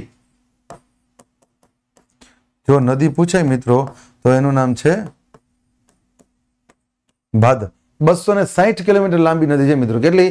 બસો ને સાહીઠ કિલોમીટર લાંબી નદી તમને જોવા મળે છે, જે અહીંયા આવેલી છે. એના કિનારે પહેલું સ્થળ તમે જુઓ તો અહીંયા તમારે આવી જશે. શું? તો ખાસ ધ્યાન રાખજો, પહેલું સ્થળ આવશે તમારે, જે તમે બધા ઓળખો જ છો, કે જસદણ તાલુકાની અંદર આવેલું હિંગોળગઢ. હિંગોળગઢ છે મિત્રો, એ ખાસ ધ્યાન રાખજો, ભાદર નદીના કિનારે આવશે. ત્યાર પછી તમે આગળ વધો તો કાગવડ. બરાબર? કાગવડ શક્તિવન આવ્યું છે, કાગવડમાં શું આવ્યું છે?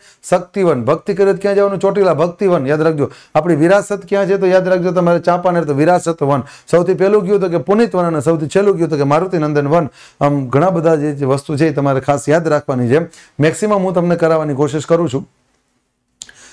ત્યાર પછી આપણે આગળ વધીએ મિત્રો. તો ત્યાર પછી તમે જુઓ, તો ત્યારથી તમે આગળ વધો, તો ત્યાં આવી જાય છે ગોમટા ગામ. ગોંડલ તાલુકો આવે, ગોમટા ગામ આવે. અહીંયા આપણે એક બંધ બાંધ્યો છે, જેનું નામ આપણે જે છે એ ભાદર બંધ પણ તમે કહી શકો છો. અને નીલખા, નીલાખા પાસે આવેલું છે. અને નીલખા બંધ અથવા તો ગોમટા જે છે બંધ તરીકે પણ તમે ઓળખાવી શકો છો. ત્યાર પછી, તો કે ગોંડલ છે એ ગોંડલી નદીના કિનારે, મિત્રો ખાસ ધ્યાન રાખજો. જ્યારે આ જે છે એ ક્યાં આવશે, તો કે ગોંડલી નદી જે છે એ પાછી ભાદર નદીને મળશે. અને અહીંયા આવ્યું છે નીલાખા, તાલુકો આવશે ગોંડલ. એથી આગળ વધુ મિત્રો, તો અહીંયા આપણે કીધું એ પ્રમાણે તમારે જે છે એ શું આવી જાય? શ્રીનાથ ગઢ. શું આવી જાય? શ્રીનાથ ગઢ. શ્રીનાથ ગઢ રોજડી આ પ્રકારનો જે છે તમને જોવા મળે. ત્યાર પછી સિંધુ ખીણ સંસ્કૃતિની સાઈડ છે મિત્રો. બરાબર? ત્યાર પછી આગળ તમે જુઓ, તો અહીંયા આવી જાય તમારે જેતપુર. શું આવી જાય મિત્રો? જેતપુર. સાડી ઉદ્યોગ, બાંધણી ઉદ્યોગ વિકાસ પામ્યો જેના વિશે તમને ખબર હશે. એક જામનગર, એક કચ્છનું ભુજ. બરાબર? અને એક આવશે તમારે શું? જેતપુર. આ ત્રણ જગ્યાએ તમારે બાંધણી ઉદ્યોગ છે બાકી બધી જગ્યાએ એમાં ખાસ કરીને પાટણ જે છે, અહીંયા તમારે પટોળા જ છે, બીજી કોઈ વસ્તુ નથી. ઘણા એવું કહેશે, પોતાની તજજ્ઞતા વાપરશે કે પટોળા છે તો અહીંયા પછી આપણે હોય જ, એવું ન થાય. એ ખાસ ધ્યાન રાખજો કે અહીંયા બાંધણી આવે છે, એવું જરૂરી નથી મિત્રો. ત્યાર પછી આગળ વધો તો છેલ્લું અહીંયા આવી જાય ઉપલેટા. શું આવી જાય? ઉપલેટા. ઉપલેટા શું છે મિત્રો? એના વિશેની વાત કરવામાં આવે તો ઉપલેટા જે છે એની આપણે કીધું પ્રમાણે તમે જો તમને ખ્યાલ આવે. તો ખાલી ઉપલેટા તાલુકો છે રાજકોટ જિલ્લાનો. પણ પરીક્ષાની અંદર પૂછાય કે કઈ નદીના કિનારે? તો ભાદર નદીના કિનારે આવે તમારે યાદ રાખવાનું છે. અને છેલ્લે પછી આ વયું જશે ક્યાં ખબર છે મિત્રો? જુનાગઢ જિલ્લામાં વહી જશે માણાવદર. શું આવશે અહીંયા? માણાવદર. ત્યાર પછી તમે આગળ જુઓ મિત્રો. તો અહીંયા આવી જશે શું? તો કે નવી બંદર. શું આવી જાય? નવી બંદર. અને છેલ્લે અહીંયા આવી જાય મિત્રો પોરબંદર હવે નવી બંદર છે ને મિત્રો, અહીંયા ગીરની ટેકરી આવે. શું આવે? ગીરની ટેકરી. તો ગીરની ટેકરીમાંથી મિત્રો બે નદી નીકળે. એક નીકળે ઓઝત અને એક નીકળે ઉબેણ. બરાબર? આ ઓઝત ને ઉબેણ બે નવી બંદર પોરબંદર ખાતે કોને? તો કે ભાદર નદીમાં સમય જાય છે, જે તમને પરીક્ષાની અંદર મિત્રો પૂછાઈ જાય જે તમારે આપણે કીધું પ્રમાણે શું કરવાનું છે? યાદ રાખવાનું છે. બરાબર? અહીંયા પોરબંદર ખાતે આ નદી મળી જાય છે. ત્યાર પછી જેમાં મદાવાનો ડુંગર છે, એ રીતે મહાવાનો ડુંગર છે અને આ મહાવાના ડુંગર ખાતે આપણે કીધું એ પ્રમાણે શું થાય? તો કે અહીંયા તમારે જે છે એ મહાવાના ડુંગરમાંથી નીકળે આ ભાદર છે, જ્યારે ઓલી થઈ જશે સુખ ભાદર. શું થઈ જશે? સુખ ભાદર, મિત્રો. અને સુખ ભાદરની જે વાત કરવામાં આવે, તો અહીંયા તમારે રાણપુર, એક શું આવી જશે? રાણપુર. અને એક આવી જશે તમારે અહીંયા શું આવશે? તો કે ધંધુકા. એક રાણપુર અને એક ધંધુકા, બે તમને પરીક્ષામાં પૂછાય આપણે કીધું પ્રમાણે કે રાણપુર અને ધંધુકા જે છે, એ પરીક્ષાની અંદર તમને પૂછાઈ જાય અને એમાંથી જે છે, એ તમને કીધું પ્રમાણે તમને જોવા મળે. જે પરીક્ષા રિલેટેડ તમને જે છે, એ આમાં જોવા મળે મિત્રો. તો રાણપુર અને ધંધુકા જે છે, એ આવેલા છે, યાદ રાખવાનું તમારે મિત્રો. રાણપુર જે છે, એ તાલુકો છે, યાદ રાખજો, અમદાવાદ જિલ્લાના બે તાલુકા લીધા, બરવાડા અને રાણપુર. જ્યારે ભાવનગર જિલ્લામાંથી બોટાદ અને સ્વામીના ગઢડા ચાર ભેગા કર્યા અને એક જિલ્લો બને એવો કયો તો કે બોટાદ જિલ્લો. તો એ ખાસ ધ્યાન રાખજો તમે. સુખભાદર નદી છે એ, એમાં એક આવશે, આપણે કીધું પ્રમાણે શું આવશે? રાણપુર આવી જશે. જ્યારે બીજું ધંધુકા. ધંધુકામાં આવશે ચાંગદેવ.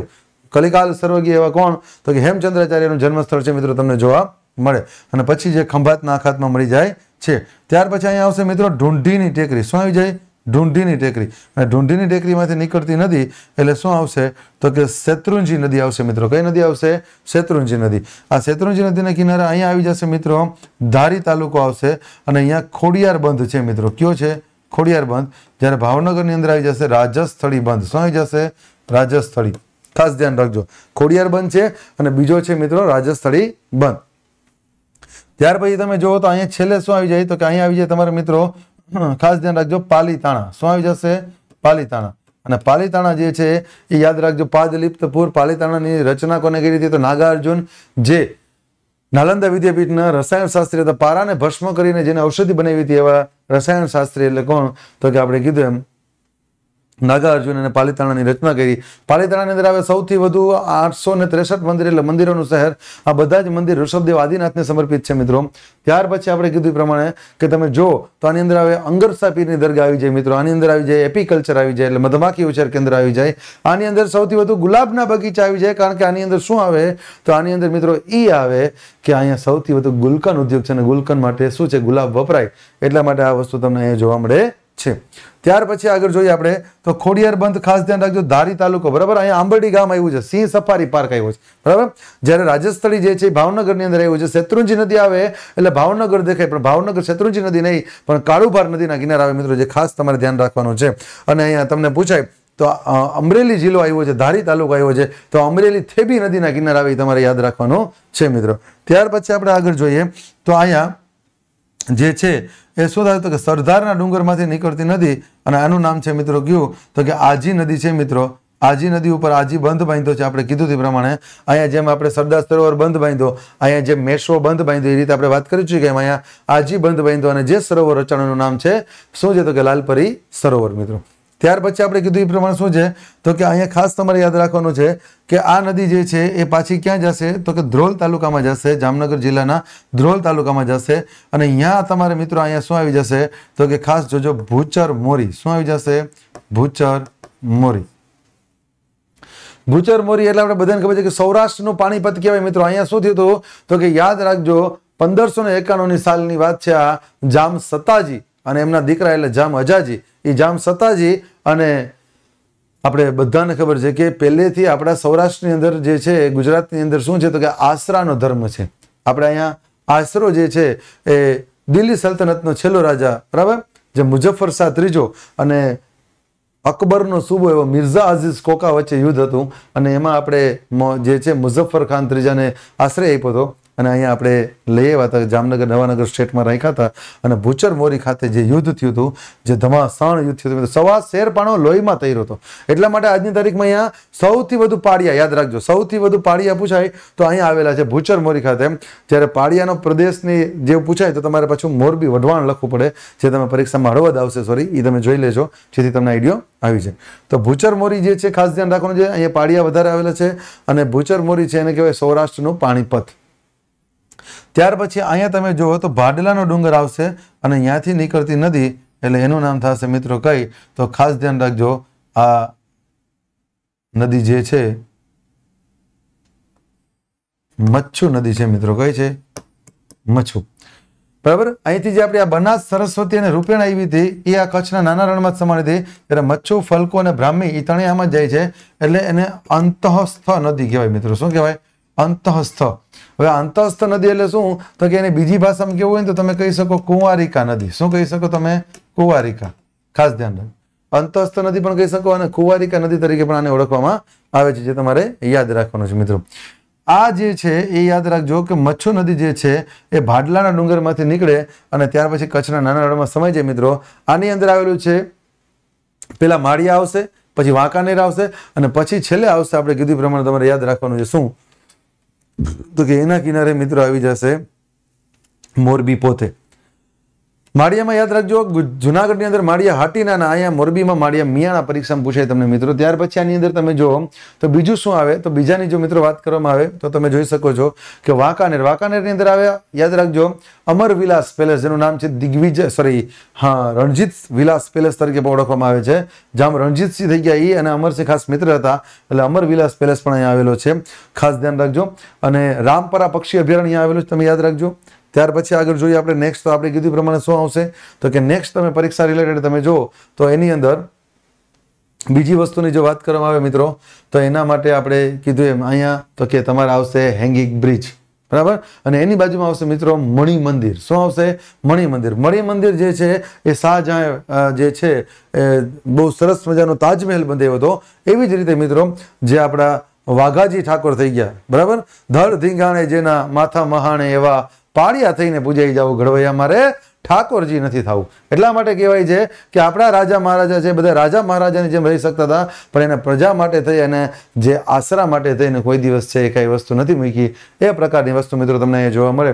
એટલા માટે જે વાઘાજી ઠાકોર જે સૌ પ્રથમ સૌરાષ્ટ્રના રજવાડામાંથી, વિદેશમાંથી, ફ્રાન્સમાંથી વિમાન લાવનાર કોઈ હોય, તો એ હતા કોણ? વાઘાજી ઠાકોર, મિત્રો. અને ત્યાર પછી વાઘાજી ઠાકોરે એમના જે પ્રિયતમાની યાદમાં બંધાયું હતું, શું? તો કે મણિ મંદિર, મણિબાઈના પ્રિયતમા હતા, મિત્રો. અને મણિ મંદિર એટલે એકદમ કલાત્મક, એટલા માટે સૌરાષ્ટ્રના શાહજહાં એવું કહેવાય.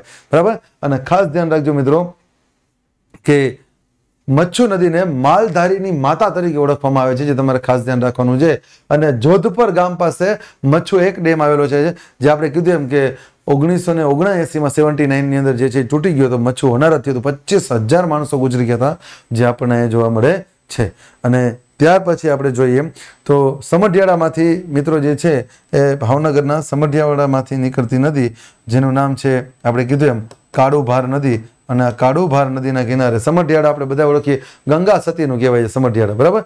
જે તમને અહીંયા જોવા મળે છે. તો અહીંયા આપણે નદીઓ જે છે, એ બધી નદીઓને આપણે શું જાહેર કરીએ છીએ મિત્રો? પૂરી જાહેર કરીએ છીએ. ત્યાર પછીની જો મિત્રો વાત કરવામાં આવે, તો હવે આપણે ભણવાનો છે મિત્રો શું? તો કે દરિયા કિનારો. દરિયા કિનારાની જો વાત કરવામાં આવે, તો દરિયા કિનારો આપણે બધાને ખબર છે કે ગુજરાતનો દરિયા કિનારો સોળસો કિલોમીટર છે. અને ગુજરાતનો દરિયા કિનારાની વાત કરીએ, તો સૌથી પહેલાં આપણે અહીંથી શરૂ કરવું પડે. તો આ છે મિત્રો શું? તો કે અહીંયા લખી લઉં છું તમને, દરિયા કિનારો, જેથી તમને યાદ આવે. બરાબર? દરિયો, ગુજરાતનો. તો અહીંયા આવશે મિત્રો તમારે કોરીનાળ શું આવશે મિત્રો?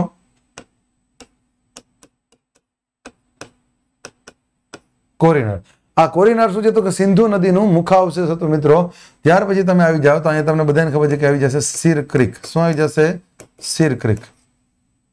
સિર ક્રિક એટલે આપણે બધાને ખબર છે શું છે? તો કે અહીંયા સૌથી છેલ્લે સૂર્યાસ્ત થાય છે. અહીંયા જે મિત્રો આવેલું છે, પાછળનો ભાગ છે, આને કહેવાય છે હરામી નાળું મિત્રો, શું બોલાય છે? હરામી નાળું બરાબર? આ હરામી નાળું આવેલું છે અહીંયા, તમે મિત્રો યાદ રાખજો. બરાબર? ત્યાર પછી અહીંયા માણસો રહે છે. આ જે આખો ભાગ છે, એને કહેવાય દલદલીય વિસ્તાર કહેવાય મિત્રો. શું કહેવાય છે? દલદલીય વિસ્તાર. ત્યાર પછી તમે અહીંયા આવી જાઓ. આપણે કીધું એમ. તો અહીંયા આવી જાય તમારે શું? તો કે કોટેશ્વર આવી જાય, મિત્રો. શું આવી જાય? કોટેશ્વર. કોટેશ્વર મહાદેવનું મંદિર છે, એની સ્થાપના કરી છે મિત્રો રાવણે, યાદ રાખજો. રાવણ દ્વારા આની રચના કરવામાં આવી હતી, એક હજાર વર્ષ અહીંયા તાપ, તપશ્ચર્યા કરવામાં આવી હતી અને કોટેશ્વર મહાદેવનું મંદિર આવેલું છે. ત્યાંથી આગળ આવી જાઓ મિત્રો, તો અહીંયા આવી જાય તમારે ભદ્રેશ્વર. આ ભદ્રેશ્વર છે ને ખાસ ધ્યાન રાખવાનું, કારણ કે જૈન માટેનું છે. ભદ્રેશ્વર, સ્વર આવે એટલે આપણે મહાદેવ પાસે આવે છે. કિલેશ્વર, બિલેશ્વર, જડેશ્વર, ઇન્દ્રેશ્વર વગેરે વગેરે. તો સ્વર આવે એટલે આપણે મહાદેવ લેતા હોય પણ આ ભદ્રેશ્વર છે એ જૈન ધર્મ માટેનું મિત્રો, યાદ રાખવાનું તમારે. ત્યાર પછી તમે આગળ આવો તો અહીંયા આવી જાય સુથરી જેના વિશે આપણે વાત કરી જોઈ કાજી સુથરી બંધ બાંધવામાં આવી બરાબર? ત્યાર પછી સુથરી પહેલા મિત્રો અહીંયા આવી જશે. એક શું? તો કે જખો. બરાબર? જખો, કોઠારા, સુથરી, તેરા, નલિયા, આપણે કીધેલું તમને કે આ બધાય શું છે? તો કે આ બધી જ વસ્તુ જે મિત્રો તમારે યાદ રાખવાની છે, કારણ કે આ બધી વસ્તુ એ આપણા ગુજરાતના જૈન ધર્મના પાંચ જે છે તીર્થ સ્થળ આવેલા છે. ત્યાર પછી તમે આગળ વધો, તો અહીંયા જે છે, એ જખો પછી સુથરી આવે. સુથરી પછી અહીંયા તમારે આવી જશે શું? તો કે ખાસ ધ્યાન રાખવાનું છે મિત્રો, માંડવી આવશે, બરાબર? આ માંડવી જે છે, એ માંડવી બીચ પણ છે અને માંડવી બંદર પણ છે મિત્રો, ખાસ ધ્યાન રાખજો, બરાબર? અને માંડવીની બાજુમાં તમારે આવી જાય જડેશ્વર બીચ મિત્રો. શું આવી જાય? જડેશ્વર બીચ બરાબર? ત્યાર પછી બાજુમાં તમે આવી જાઓ, તો અહીંયા તમારે આવી જાય મુંદ્રા. શું આવી જાય?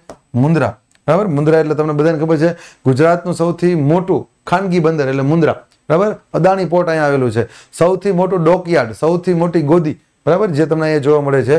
અને છેલ્લે આપણે બધાને ખબર છે કે અહીંયા શું આવી જાય? તો કે કંડલા બંદર આવી જાય મિત્રો. બરાબર? કંડલા બંદર, જેની સ્થાપના ઓગણીસો ને એકત્રીસની અંદર કરવામાં આવી હતી. બરાબર? કચ્છના રાજા જે છે, રાવ ખેંગારજી, એના દ્વારા કરવામાં આવી હતી. અને ત્યાર પછી મિત્રો ઓગણીસો ને પચાસની અંદર જે છે, એને ગુજરાત સરકારમાં જે છે, આપણે પશ્ચિમ સાઈડ, કરાચી બંદર બહુ સરસ હતું જ. પણ આપણે પહોંચી શકીએ એમ નહોતા. હવે પાકિસ્તાનમાં વયું ગયું હતું, એટલા માટે આપણે નવું બંદર ઊભું કરવું પડ્યું હતું મિત્રો. ઓગણીસો પચાસની અંદર. ત્યાર પછી યાદ રાખજો કે આને જે છે એ special economic zone free trade zone બરાબર? અને ઈપીઝેડ બરાબર? આ બે જે છે ઓગણીસો ને પાસઠમાં, બરાબર? જે છે એ કરવામાં આવ્યા હતા, યાદ રાખજો. ફ્રી ટ્રેડ ઝોન અને ઈપીઝેડ એક્સપોર્ટ પ્રોસેસિંગ ઝોન તરીકે પણ આને ઓળખવામાં આવે છે. હવે એનું નામ બે હજાર સત્તરની અંદર મિત્રો બદલાવી નાખ્યું છે અને થઈ ગયું છે પંડિત દીન દયાળ ઉપાધ્યાય પોર્ટ ત્યાર પછી આવે છે મિત્રો સૌરાષ્ટ્રનું. તો પેલું જ આવી જશે આપણે મોરબી મિત્રો. અને મોરબીની જે વાત કરવામાં આવે તો આપણે બધાને ખબર છે કે નવલખી બંદર આવે મિત્રો અહીંયા. શું આવી જાય? નવલખી.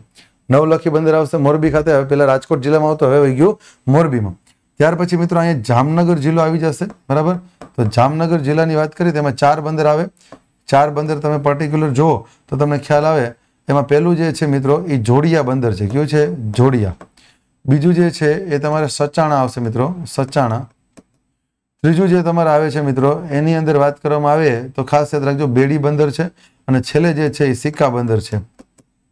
ચારે ચારની વાત કરીએ આપણે, તો જોડિયા બંદર છે, યાદ રાખજો, જોડિયા બંદરમાં શું આવશે? હંસસ્થળી નામનું સ્થળ આવે મિત્રો. એ હંસસ્થળી નામના સ્થળે શું આવે? તો કે અહીંયા ભરતી અને ઓટ દ્વારા વીજળી ઉત્પન્ન કરવામાં આવે છે. જ્યારે હંસસ્થળીમાં ઇઝરાયલમાંથી નરેન્દ્ર મોદી જે બે ખારા પાણીમાંથી મીઠા પાણીના મશીન છે ગિફ્ટ કરવામાં આવ્યા તેમાંથી એક મશીન અહીંયા હંસા સ્થળે ખાતે મૂકવામાં આવ્યું છે મિત્રો. બીજું જે સચાણા જે તમને બધાને ખબર છે કે અલંગ પછી બીજા નંબરનું ગુજરાત લેવલે કોઈ આવતું હોય, તો શિપ બ્રેકિંગ યાર્ડ જે સચાણા ખાતે છે. પછી બેડીમાંથી ખાસ તમને કોઈ પ્રશ્ન ન પૂછે, પણ બેડી બંદર કયા જિલ્લામાં આવે તો જામનગર, એટલો તમને પૂછાય. અને ત્રીજું એ છે સિક્કા. સિક્કામાં આવે ટીપીએસ થર્મલ પાવર સ્ટેશન આવે મિત્રો, યાદ રાખજો. અને અહીંયા આપણે દિગ્વિજય સિમેન્ટ જે છે એ તમને જોવા મળે. ત્યાર પછી અહીંયા બીજું આવી જશે દેવભૂમિ દ્વારકા મિત્રો. દેવભૂમિ દ્વારકામાં મિત્રો તમારે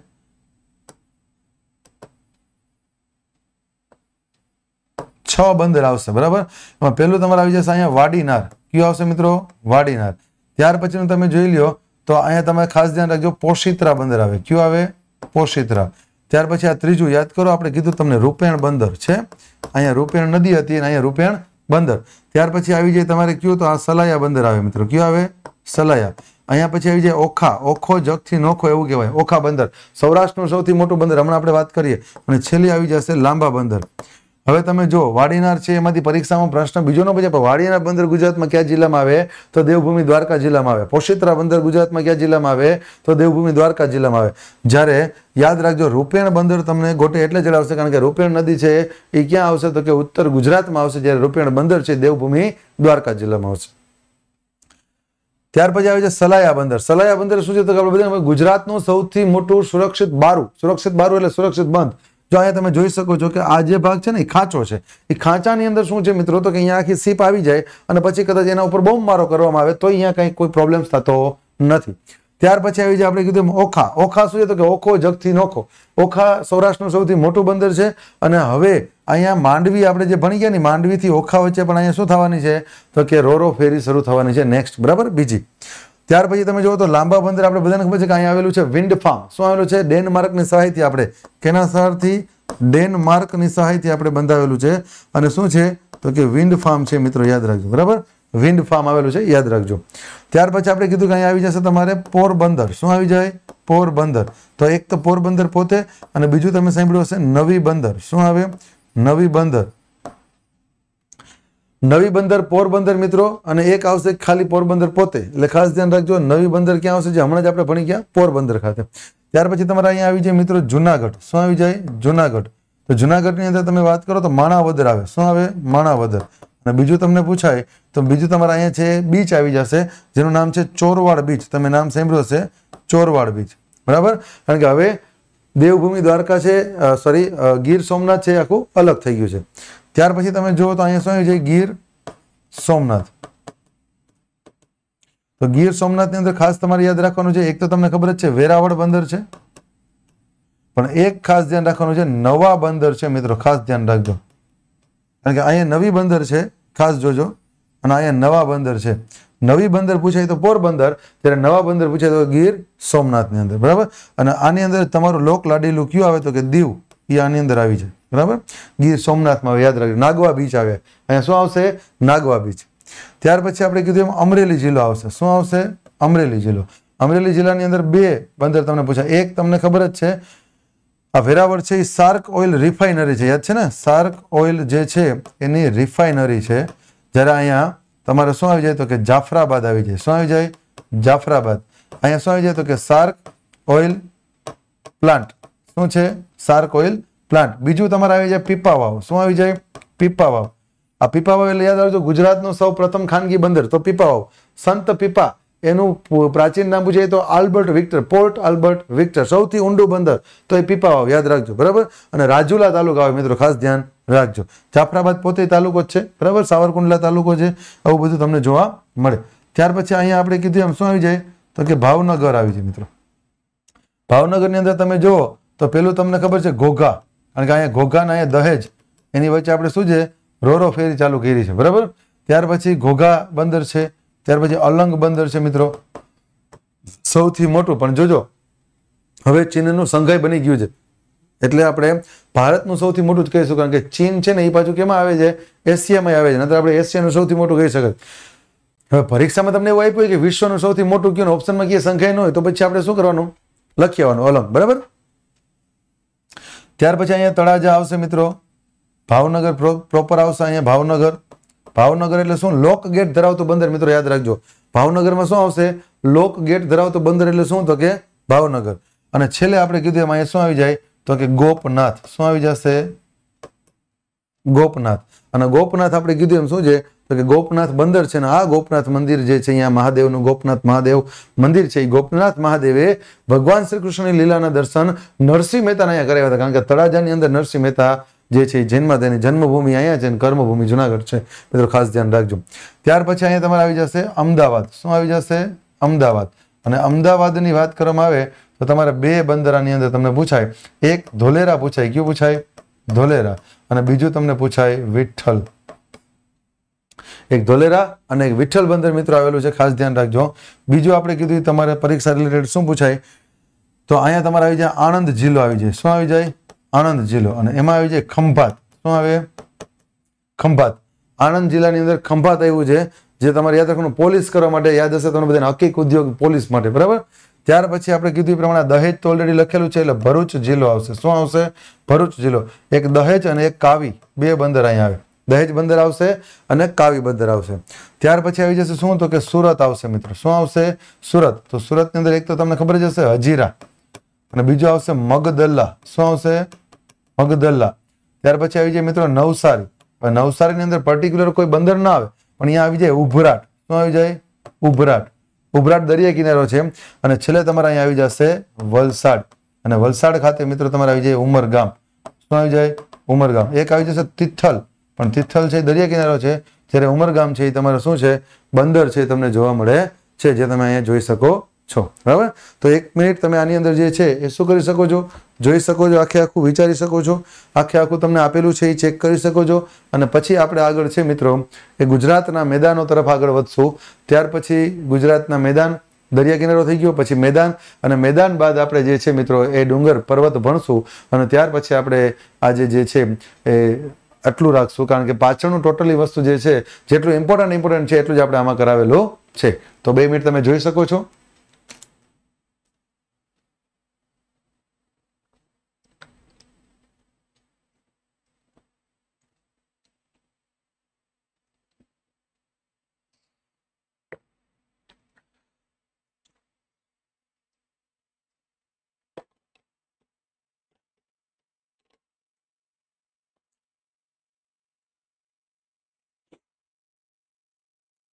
ચાલો.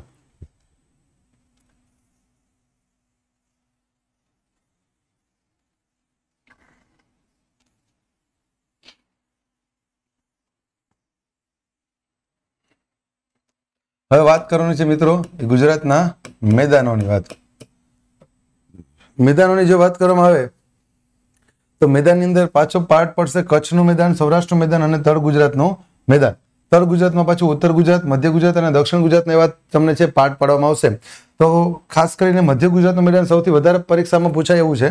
પણ એમાં પહેલું લઈ લઈએ આપણે કીધું પ્રમાણે. તો તમે જોઈ શકો છો અહીંયા કચ્છનું મેદાન. એની અંદર આવશે કંઠીનું મેદાન. શું આવે? કંઠીનું મેદાન. હવે તમે જોઈ શકો છો કે ગળામાં પહેરવાની કંઠી આકારનું છે. માટેનું નામ આપવામાં આવેલું છે કંઠીનું મેદાન. અહીંયા મોટા રણની અંદર તમે જુઓ તો અહીંયા આવે તમારા ખાવડા. અહીંયા ખાવડાનો ડુંગર આવે. અહીંયા તમારે જે છે બન્ની વિસ્તાર આવે. કયો આવે? બન્ની. તો ખાવડા અને બન્ની વિસ્તાર વચ્ચેનો જે છે, એને કહેવાય છે મિત્રો વાગડનું મેદાન. શું બોલાય છે? વાગડનું મેદાન. હવે જો, અત્યારે તમને વચ્ચેનું મધ્ય ગુજરાતના બે બે પોઈન્ટ ભેગા ભેગા અહીંયા સોલ્વ થઈ જશે. તો જો, અહીંયા સાહેબ આપ્યું વાગડનું મેદાન છે. તો એવી જ રીતે તમે જુઓ અહીંયા. તો એક તમે સાંભળ્યું હશે ચરોતર. બરાબર? એક તમે સાંભળ્યું હશે શું? તો કે ચરો અને તર, અને નોખા પાડી દઈએ આપણે. એટલે ચરો અને તર, બે બે અક્ષરના બે થાય. તો ચરો અને તર, એટલે જો અહીંયા તમે જો મહી અને શેઠી બે બે પાર્ટ પાડી શકો. એટલે સમજાય, મહી અને શેઢી નદી વચ્ચેનો પ્રદેશ એટલે શું કહેવાશે? ચરોતર પ્રદેશ. હવે મહી અને સેઢી નદી છે ને એ અને કાપ પૂછાય ને તો વાતરક પાછી ભેગી આવી જાય. એટલે મહી, શેઢી અને વાત્રક ત્રણેય નદીના કાપથી બનેલું મેદાન. પણ આવશે ક્યાં? તો કે મહી અને શેઢી નદીની વચ્ચે આવશે. બરાબર? એવું જ બીજું તમે નામ સાંભળ્યું હશે, કાનમનું મેદાન. શું આવશે? કાનમ પ્રદેશ. ઉચ્ચ કોટીના કપાસ માટે પ્રખ્યાત છે. કાનમના અક્ષર કેટલા મિત્રો? તો કે ત્રણ. તો અહીંયા તમારે યાદ રાખવાનું, નર્મદા નદી તમને પૂછાય તો નર્મદાના અક્ષર કેટલા? ત્રણ. અને બીજી નદી તમને પૂછાય તો ઢાઢર નદી છે મિત્રો. તો ઢાઢરના અક્ષરે કેટલા? તો કે ત્રણ. હવે તમારે શું કરવાનું છે? તો કે ચરોતર નદીમાંથી, ચરોતર પ્રદેશમાંથી ફેમસ નદી કઈ? તો અહીંયા તમારે લેવાની છે કઈ? તો કે મહી નદી. અને આ બંનેમાંથી અનફેમસ નદી કઈ? એટલે કે ઓછી ફેમસ એવી કઈ? તો ઢાઢર નદી. હવે જોજો. મહી નદી અને ઢાઢર નદીને ભેગું કરો, તો આ જે મેદાન બને, એનું નામ શું છે? એવું તમને પૂછાય. તો એનું નામ મિત્રો જે છે, એ છે તમારે વાકડનું મેદાન. જો અહીંયા વાકડ અને અહીંયા વાગડ ખાસ લોચો ન થાય, એટલા માટે અત્યારે જ તમને અહીંયા બે મેદાન આપણે ચરોતર અને કાનમ પ્રદેશ છે, જે મધ્ય ગુજરાતમાં આવશે, એની વાત આપણે અત્યારે ઓલરેડી કરી નાખી. ત્યાર પછી સૌરાષ્ટ્રની અંદર આવીએ, તો સૌરાષ્ટ્રની અંદર ખાસ કોઈ કહી શકીએ એવું આપણે મેદાની પ્રદેશ ખાસ તમને જોવા ન મળે. આપણે જે અહીંથી આ ઉચ્ચ પ્રદેશ છે, એકમાત્ર ગુજરાતની અંદર ઉચ્ચ પ્રદેશ હોય તો સૌરાષ્ટ્રનો ઉચ્ચ પ્રદેશ અને એ કચ્છ સોરી રાજકોટ જિલ્લાની અંદર તમને જોવા મળે. એટલે અહીંથી આ ભાદર નદી છે, તો ભાદર બેસીન વિસ્તાર છે. પછી આજી નદી છે, બરાબર? આવી બે ત્રણ શેત્રુંજી બેસીન વિસ્તાર છે. તો આ વચ્ચેના જે ભાગ છે, અહીંયા તમને ખાલી મેદાની પ્રદેશ જોવા મળે. પણ એ પરીક્ષા રિલેટેડ તમારા માટે કોઈ ઇમ્પોર્ટન્ટ નથી. એવી જ રીતે અહીંયા તમે જુઓ તો ઉત્તર ગુજરાતની અંદર જો વાત કરવામાં આવે, તો ઉત્તર ગુજરાતની અંદર વાત કરીએ તો શું આવે? તો ઉત્તર ગુજરાતના મેદાનમાં શું થશે? તો ઉત્તર ગુજરાતના મેદાનમાં મિત્રો ખાસ એટલું તમારે યાદ રાખવાનું છે કે એક તો તમારે યાદ હશે બધાને કે અહીંયા આ બનાસ નદી આપણે ભણી ગયા. આ બનાસ અને સરસ્વતી. બે વચ્ચેનો પ્રદેશ છે ને બનાસ અને સરસ્વતી, એ પ્રદેશને કહેવાય છે વઢિયાર પ્રદેશ. હું બોલાય છે વઢિયાર પ્રદેશ. બનાસ અને સરસ્વતી નદી વચ્ચેના પ્રદેશનો શું કહેવાય વઢિયાર પ્રદેશ. અને વઢિયારમાં વઢિયારી ભેંસ વખણાય. અને આની અંદર પાછો કાંકરેજ પ્રદેશનો સમાવેશ થઈ જાય મિત્રો. શું થઈ જાય? કાંકરેજ બીજો તમને પરીક્ષામાં શું પૂછે મિત્રો? તો મહેસાણા જિલ્લાના સતલાસણા તાલુકાનો વિસ્તાર. તો એને કહેવાય મિત્રો ગઢવાડા. શું બોલાશે? ગઢવાડા. રેડી ત્યાર પછી તો કે આખે આખા મધ્ય ગુજરાતની વાત કરી છે, તો મધ્ય ગુજરાતના ચાર પ્રકાર પાડી શકાય. એક આવે છે વિરમગામનું મેદાન મિત્રો, એક આવે છે ચરોતર પ્રદેશ, એક આવે છે સાબરમતીનું મેદાન અને એક આવે છે આપણે જે અહીં તમને કીધું પ્રમાણે શું આવશે? તો કે કાનમ પ્રદેશ અથવા તો વડોદરાનું મેદાન. બરાબર? તો જોઈએ આપણે ક્યાં ક્યાં છે, તો પહેલું લઈ લઈએ આપણે અહીંયા. પહેલું આવી જશે તમારે કેવું તો કે અહીંયા વિરમગામનું મેદાન. શું આવી જશે? વિરમગામ. આ વિરમગામનું મેદાન છે ને, અહીંયા ઉપરથી અહીંયા જો યાદ કરો, રૂપેણ નદી આવે. તો રૂપેણ નદીના હિસાબે અહીંયા કાપ પથરાય અને કાપ પથરાય એટલે કાળી જમીન બને. કાળી જમીન બને ને, એના કારણે શું થાય? કાપની જમીન ને કાળી જમીન આવે. તો કે અહીંયા તમે સારો એવો પાક લઈ શકો. શેનો પાક લઈ શકો તમે મિત્રો યાદ રાખજો તો સારો એવો પાક તમે લઈ શકો છો અને એ પાક શેનો છે? તો કે આપણે કીધું એ પ્રમાણે તમારે ખાસ ધ્યાન રાખવાનું છે કે આ પાક જે છે, એ તમે કપાસનો લઈ શકો, એટલા માટે વિરમગામ કોટન ઝોન જાહેર કરવામાં આવ્યું છે. બરાબર? ત્યાર પછી તમે બીજું જુઓ તો અહીંયા જે છે એ શું છે? તો કે સાબરમતીનો જે છે એ તમને વિસ્તાર જોવા મળે છે. આ સાબરમતી નદી જે છે એના વિસ્તારની જો વાત કરવામાં આવે તો સાબરમતી નદીનો જે છે એને કહેવાય છે ભાલ પ્રદેશ મિત્રો. શું કહેવાય? ભાલ પ્રદેશ. ભાલ પ્રદેશની મિત્રો જે વાત કરવામાં આવે તો ભાલિયા, ચાંસિયા અને દાઉદ ખાની. ખાસ જોજો. ભાલિયા, ચાંસિયા અને દાઉદ ખાની ઘઉં એ સિવાયના ગુજરાતમાં બીજી જગ્યાએ જ્યાં પણ થાય બધાને હાંસિયા ઘઉં તરીકે ઓળખવામાં આવે છે, તમારે ખાસ યાદ રાખવાનું છે. તો ભાલ પ્રદેશ જે છે, યાદ રાખવાનો છે. અમદાવાદ જિલ્લાનો દક્ષિણ પશ્ચિમ ભાગ, એવું પણ તમે કહી શકો. ત્યાર પછી તમે ઉપર જુઓ તો અહીંયા બરાબર શું આવી જાય તમારે? તો કે આપણે કીધું યાદ કરો, અહીંથી વાત્રકનું મેદાન આવી જાય. વાત્રક નદી જ્યાં મુખ ખોલતી હતી, જ્યાં સાબરમતીને મળતી હતી એ વાત્રક નદી છે, અહીંયા આવે ભાઠાની જમીન આવે મિત્રો. શું આવે? ભાઠાની જમીન, બરાબર? ત્યાર પછી આપણે કીધું પ્રમાણે કે આ જે ભાગ છે, અહીંયા મહી અને શેઢી આપણે ભણી ગયા. આ મહી અને અહીંથી આ સેઠી નદી વચ્ચેનો પ્રદેશ એટલે આને કહેવાય ચરોતર પ્રદેશ. મિત્રો, શું કહેવાય? ચરોતર પ્રદેશ. ચરોતર પ્રદેશ એટલે સોનેરી પાનનું મુલક. અહીંયા તમાકુનો પાક લેવાય મિત્રો, બરાબર? તો યાદ રાખજો, આંધ્રપ્રદેશ પછી બીજો નંબર કેનો આવે? ગુજરાતનો. આપણે મેક્સિમમ જેટલી વસ્તુ કવર થાય એટલી તમને કરાવીએ છીએ, જે તમારે ખાસ યાદ રાખવાની ત્યાર પછી તમે આગળ જુઓ મિત્રો, તો શું થશે? તો કે છેલ્લે જે છે, અહીંયા આપણે કીધું ને એમ કાનમ પ્રદેશ આવેલો છે મિત્રો. શું આવેલો છે? કાનમ પ્રદેશ. તો કાનમ પ્રદેશ એટલે આપણે ભણી ગયા નર્મદા અને ઢાઢર વચ્ચેનો પ્રદેશ. જ્યારે ચરોતર પ્રદેશ આપણે ભણી ગયા મહી અને શેઢી નદી વચ્ચેનો પ્રદેશ. જ્યારે મહી અને ઢાઢર વચ્ચેનો પ્રદેશ છે તેને શું કહેવાય છે? વાકડ પ્રદેશ તરીકે ઓળખવામાં આવે છે. જે તમારે ખાસ ધ્યાન રાખવાનું છે. આ પ્રદેશ જો મિસ્ટેક કરશો મિત્રો, તો તમે ભૂલ કરીને આવશો. જ્યારે દક્ષિણની અંદર શું છે, તો કે બધી નદી છે, એના મુખ અહીંયા ખોલે, એટલે આ દક્ષિણ જે છે ને, એને શું કહેવાય છે, તો કે પૂરના મેદાન કહેવાય છે. મિત્રો, શું કહેવાય છે? પૂરના મેદાન તરીકે આને ઓળખવામાં આવે છે. આ બધા પૂરના મેદાન છે. એટલે અહીંયા તમે કાંઈ ન જોઈ શકો. એટલે આપણો દરિયા કિનારો જો આપણી પાસે અઠ્યાવીસ ટકા દરિયા કિનારો છે, પણ આપણે ત્રીસ ટકા જ બંદરનો વિકાસ કરી શક્યા. શું કામ? કારણ કે ખાંચા ખૂંચીવાળો છે. આપણે આ બધી વસ્તુ કેવી છે? ખાંચા ખૂંચીવાળી જોવા મળે, બીજા પ્રોબ્લેમેટિક જોવા મળે, બીજી ઘણી બધી વસ્તુ જોવા મળે. એના કારણે આપણે આ તકલીફ તમને જોવા મળતી હોય છે. તો આ છે આપણા મેદાની પ્રદેશ મિત્રો. અને ભેગા ભેગો આપણે અહીંયા શું છે? તો કે ઉચ્ચ પ્રદેશ પણ તમને કરાવી દીધેલો છે.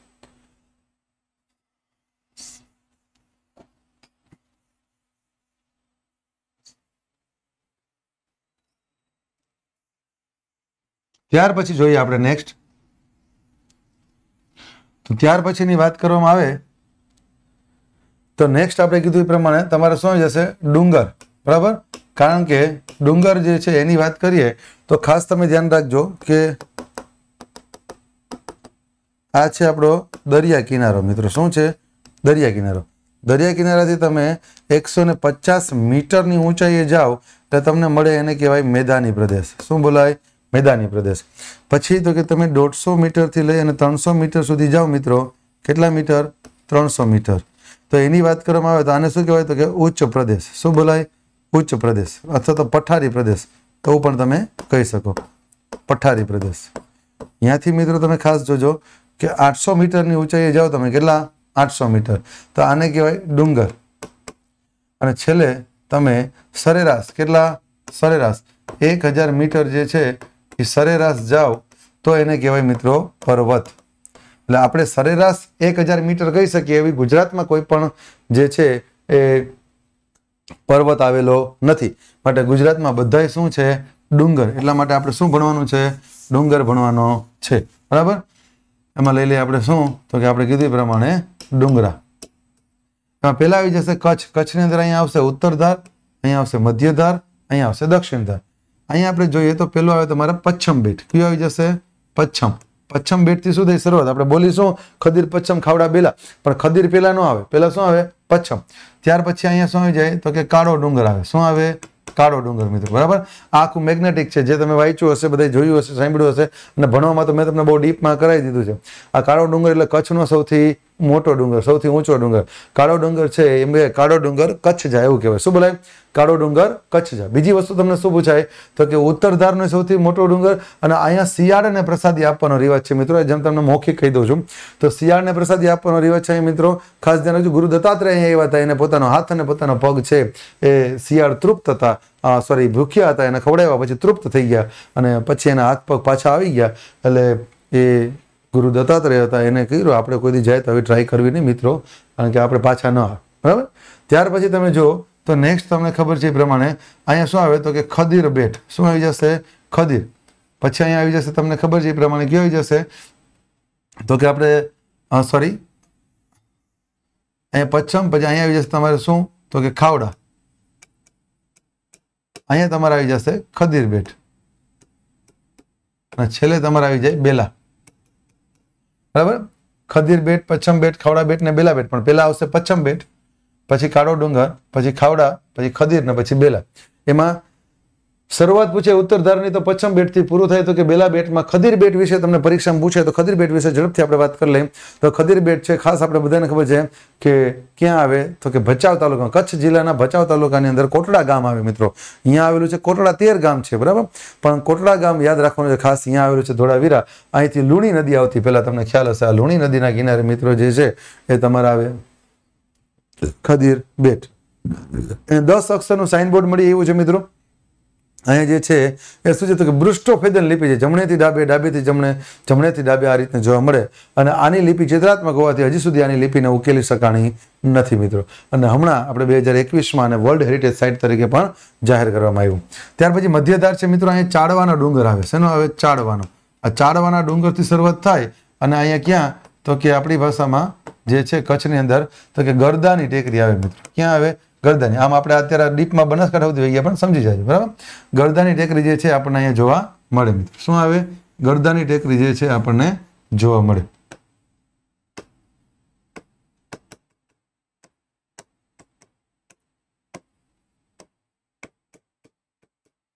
ત્યાર પછી તો કે આની અંદર આપણે બધાને ખબર છે, ધીણોધર છે મિત્રો, એ જોવા મળે. ત્યાર પછી ભુજીયો લીલીઓ વરાર આવા અલગ અલગ ઘણા બધા છે, ખાસ જોજો.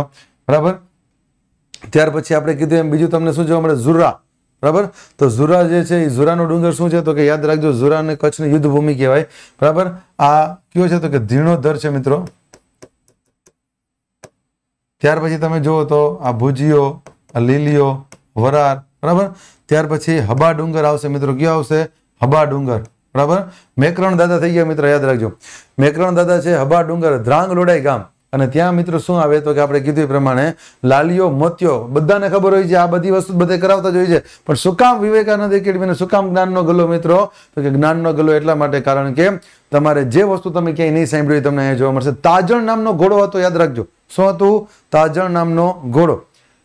લાલીઓ અને મોતીઓ તો બધાને ખબર હોય. ગમે એ ઘણા બધા શિક્ષકો ભણાવતા ખબર પણ આ વસ્તુ ખબર હોતી નથી. એટલે યાદ રાખવાનું, કોઈ દિવસ કોઈ પણ વસ્તુનો અભિમાન મિત્રો કરવું નહીં. કારણ કે હંમેશા આપણે આ શેર કરતા સવા શેર હોય જ છે. એટલે જેટલું પણ જ્ઞાન છે આપણી પાસે છે, ભગવાને દે દીધું છે સફિશિયન્ટ છે મિત્રો. પણ કોઈ દિવસ કોઈ પણ વસ્તુનો અભિમાન કરશો નહીં મિત્રો. જોઈએ આગળ નેક્સ્ટ ત્યાર પછી છેલ્લે આવી જાય ગરદાની ટેકરી. ત્યાર પછી અહીંયા દક્ષિણ ધાર છે, એની અંદર આવ્યા મિત્રો, અહીંયા પાનન ધ્રો શું આવે? પાનન ધ્રો પાંથરો પાંથરો કરતા હોય ઘણા પાનંદ્રો બોલતા નથી આવતો લિગ્નાઇટ મળી એવો જ મિત્રો અહીંથી. યાદ રાખજો.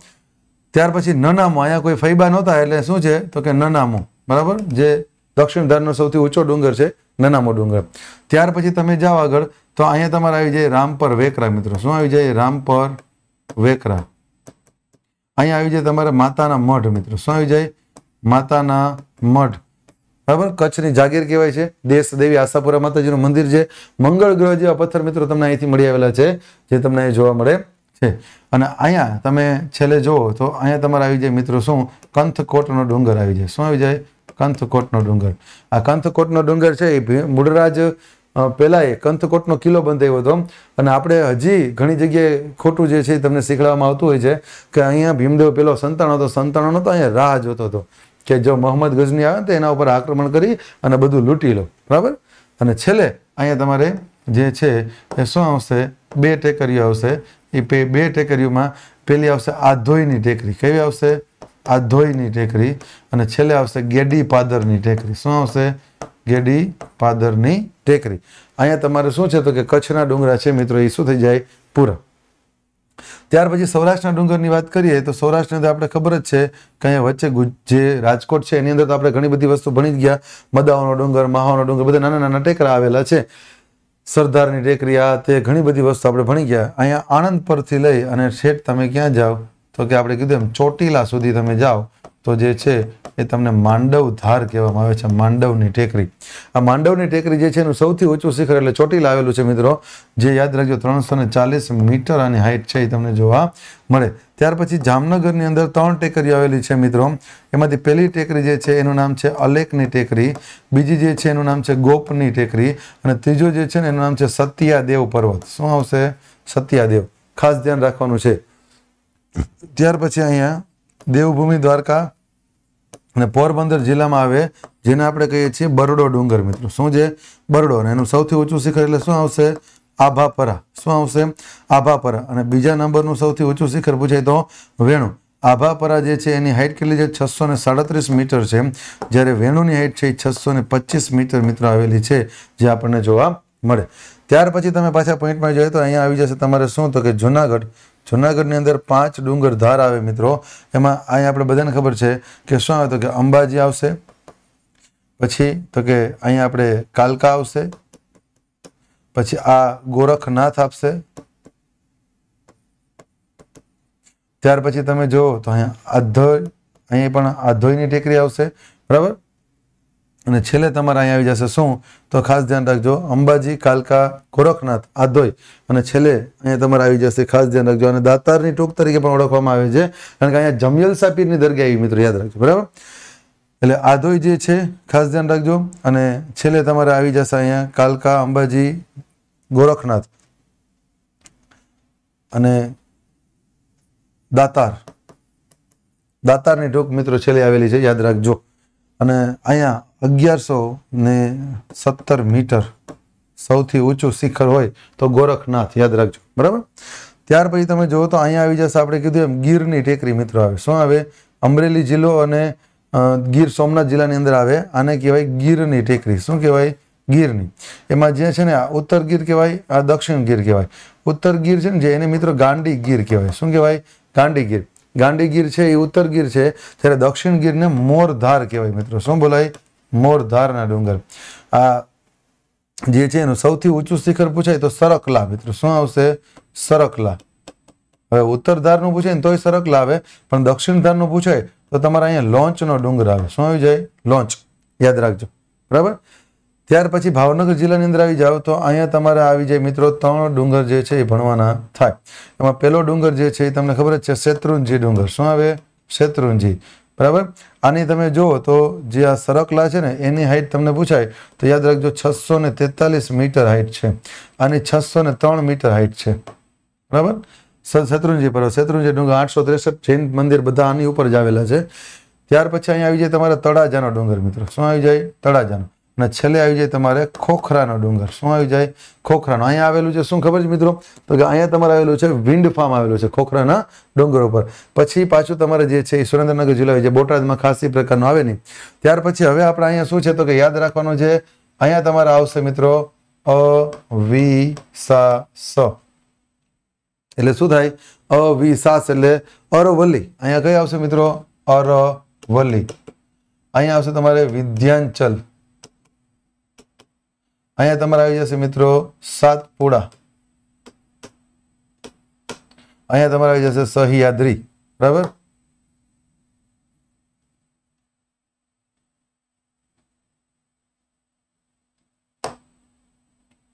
અહીંયા તમારે આવી જશે મિત્રો સહ્યાદ્રી. બરાબર?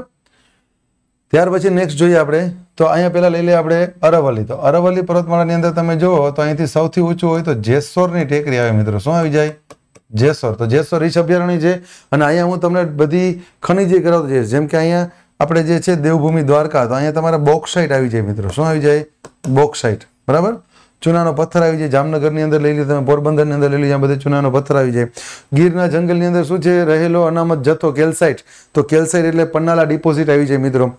ત્યાર પછી, તો કે ભાવનગર જિલ્લો છે, તો ફાયર ક્લે મુલતાની માટી, આ બધી વસ્તુ આવી જાય. સુરેન્દ્રનગર છે, તો ચિનાઈ માટી, મેંગલોરી નડિયા બરાબર? આ બધું ઝાલાવાડ પોટરી, પરશુરામ પોટરી, એવું બધું તમે જિલ્લા વાંચ્યા હોય, તો તમને ઓલરેડી ખબર હશે. જેસોરની ટેકરીનું સૌથી ઊંચું શિખર એટલે મિત્રો યાદ રાખજો, આરાસુર. આરાસુર રંજ કહેવાય. શું બોલાય? આરાસુર. ખાસ ધ્યાન રાખજો. ત્યાર પછી આપણે કીધું પ્રમાણે તમે જોઈ શકો છો કે શું થાય. તો કે જેસોર રીછ અભયારણ્ય છે મિત્રો. ત્યાર પછી બીજી વસ્તુની જો વાત કરવામાં આવે, તો શું આવી જશે? તો કે અહીંયા બાજુમાં તમે જુઓ તો તમારે તારંગા ડુંગર છે મિત્રો. શું છે? તારંગા ડુંગર. કયો આવેલો છે? તારંગા ડુંગર. અને તારંગા ડુંગર તારાના બૌદ્ધના દેવી તારાના નામ ઉપરથી તારંગા ડુંગર પડેલો છે. ત્યાર પછી આગળ જુઓ તમે, તો આપણે કીધું પ્રમાણે તમને ખ્યાલ આવે કે આની અંદર શું થશે? તો કે આ જે પર્વતમાળા છે ને મિત્રો, એ અહીંયાથી ઠેઠ યાદ રાખજો, દિલ્હી સુધી વિસ્તરેલી છે. ક્યાં લગી? દિલ્હી લગી વિસ્તરેલી છે. રાયસીના હિલ કહેવાય. શું બોલાય? રાયસીના હિલ. ત્યાં લગી આ તમને વિસ્તરેલી જોવા મળે છે. ત્યાર પછી તમે જુઓ મિત્રો, તો બીજું શું આવશે? તો કે અહીંયા મજનું પર્વત આવે. શું આવે? મજનું પર્વત. અને અહીંયા મજનું પર્વત ઉપર તમારે આપણું વાઇસરોય હાઉસ બોલાય, વાઇસરોય હાઉસ, જેને અત્યારે આપણે બોલી છીએ રાષ્ટ્રપતિ ભવન. બહુ વધારે નથી, પણ ત્રણસો ચાલીસ ઓરડા છે ખાલી. રોજ રાષ્ટ્રપતિના અલગ અલગ રૂમમાં રહેવું એ છૂટ. કારણ કે બાકી આપણે બધાને ખબર છે કે બાકીના પચીસ દિવસ, ત્રીસ દિવસ વધ્યા એ પાછું વિદેશ પ્રવાસે જવાનું હોય ને પાછું. એટલા માટે ત્રણસો ને ચાલીસ ઓરડા છે. અહીંયા મુઘલ ગાર્ડન આવ્યો છે, તમારે યાદ રાખવાનું છે જે તમને પરીક્ષામાં પૂછાય. શું કામ? કારણ કે અહીંયા ગુલાબના બગીચા છે ને અલગ અલગ કલરના ગુલાબ બારે માસ થાય છે. મુઘલ ગાર્ડન યાદ રાખજો. ક્યાં આવેલું છે? દિલ્હી, રાયસીના હિલ કહેવાય, બરાબર? એટલે આ જે છે, આપણે અહીંયા જોઈ ગયા, તારંગા ડુંગર જોયો, જેસોરની ટેકરી જોઈ, આ બધા જે છે, એ અરવલ્લી પર્વતમાળાનો જ ગુજરાતનો ભાગ છે. અને ગુજરાતનું સૌથી ઊંચું પૂછાય તો જેસોરની ટેકરી આવે મિત્રો, પણ અરવલ્લી પર્વતનું સૌથી ઊંચું પૂછાય તો તમારે યાદ રાખવાનું છે, અરવલ્લી ડુંગરનું સૌથી ઊંચું શિખર આબુની અંદર આવે મિત્રો, જેને ગુરુ શિખર તરીકે ઓળખવામાં આવે છે. બીજું આવે વિદ્યાંચલ પર્વતમાળા. મિત્રો વિદ્યાંચલ પર્વતમાળાની જો વાત કરવામાં આવે, તો વિદ્યાંચલ પર્વતમાળાના ઘણા બધા આપણે આવશે. એમાંનો પહેલો આવશે પાવાગઢ. કયો આવી જાય? પાવાગઢ. આ છે ને પર્વત ચાર પ્રકારના યાદ કરો, મેં તમને કીધું હતું, ચાર પ્રકારના. એમાં ક્યાં ક્યાં આવે ગેડ પર્વત, ખંડ પર્વત, જ્વાળામુખી પર્વત અને અવશિષ્ટ પર્વત. એ અવશિષ્ટ પર્વત એટલે શું થાય? અરવલ્લી. આપણી પાસે નવી ગેડે આપણી પાસે છે અને જૂની ગેડે આપણી પાસે જ છે. નવી ગેડ એટલે શું? તો કે આપણને ખબર છે, હિમાલય પર્વત. જ્યારે જૂની ગેડ એટલે શું થશે? અરવલ્લી પર્વત. ત્યાર પછી વિધ્યાંચલ પર્વતમાં પાવાગઢનો જે છે ગુજરાતનો સૌથી ઊંચો પર્વત પૂછાય તો પાવાગઢ છે, એની અંદર દૂધિયું છાસ્યું તેલિયું તળાવ છે, જે શું છે, જ્વાળામુખીના મુખ છે, માંચી નામના સ્થળે એવા જ મિત્રો યાદ રાખજો. ત્યાર પછી, તો કે અહીંયા બાજુમાં જ તમારે આવી જાય, જો ખાસ જોજો અહીંયા સુલતાન, અહીંયા શું આવશે તમારે? શિવરાજપુર. હવે જો, અહીંયા દેવભૂમિ દ્વારકામાં શિવરાજપુર બીચ આવે અહીંયા શિવરાજપુરનો ડુંગર આવે. એમાં મેંગેનીઝ ધાતુ આવે. મેં તમને કીધું હતું કે આપણે ડુંગર ભણી છીએ ને ભેગી ભેગી ધાતુ કરવાની છે એટલે તમને ખ્યાલ આવે. અહીંયા મેંગેનીઝ ધાતુ આવે મિત્રો, ખાસ ધ્યાન રાખજો શિવરાજપુરની ખાણમાંથી. અને અહીં બાજુમાં છે ને, એ નીચે ત્રણ ડુંગર આવશે. જ્યાં શું આવશે તો કે ખાસ ધ્યાન રાખજો, આંબા ડુંગર ડુંગર ગામ અને નૈતીની ટેકરી. ત્યાંથી મળે છે ફ્લોરસ પાર. શું મળે ફ્લોરસ પાર. અને ત્યાં જ એક્ઝેક્ટ બાજુમાં આવી જાય કડી પાણી મિત્રો. શું આવી જાય? કડી પાણી. જ્યાં શું છે? ફ્લોરસ પાર શુદ્ધિકરણ કારખાનું. અને એની જે એક્ઝેક્ટ નીચે પાછું તમારે આવી જાય છોટા ઉદેપુર જિલ્લાની અંદર, તો તમારે અહીંયા આવશે છોટા ઉદેપુર જિલ્લાના સંખેડા તાલુકાની અંદર છુછાપુરા અને ભૂલવણ. જ્યાં તમારે શું મળે? તો કે મેગ્નેશિયમ કાર્બોનેટ, મિત્રો. શું મળે? Magnesium carbonate MGCO three. શું કહેવાય? એમજીસીઓ થ્રી એટલે કે ડોલોમાઇટ શું બોલાય? લાલ રંગ અને લીલા રંગનો આરસપાણ જ્યારે સફેદ આરસપાણ અહીંયા ક્યાં થઈ જાય? તો કે અંબાજીની અંદર આવી જાય. યાદ રાખજો. બરાબર? અંબાજીમાં સફેદ આરસ, જે શું છે? કેલ્શિયમ કાર્બોનેટ કહેવાય. સીએસીઓ થ્રી જ્યારે અહીંયા મેગ્નેશિયમ કાર્બોનેટ એમજીસીઓ થ્રી આપણે ભૂગોળ ભણ્યો પણ અત્યારે સાયન્સે વચ્ચે લેતા જાય એટલે કાંઈ વસ્તુ આપણે બાકી રહીએ નહીં. પાછા પોઈન્ટમાં આવી જાય. આગળ જોઈએ. તો આ જેટલા પણ ડુંગર ભણ્યા એ બધા વિધ્યાંચલ પર્વતમાળાના છે. વિધ્યાંચલ પર્વતમાળા છે ને આ બધા ફોર્ટ માઉન્ટેન કહેવાય. આમ કાગળને ફોલ્ટ કરો ને તમે અને પછી કેવો થઈ જાય? એ ટાઈપનું કહેવાય, ફોલ્ટ માઉન્ટેન કહેવાય. અને વિધ્યાંચલ પર્વતમાળા મિત્રો જોવો તો એનું સૌથી ઊંચું શિખર તમે સાંભળ્યું હશે અમરકંટક આપણે જ્યારે ભણી ગયા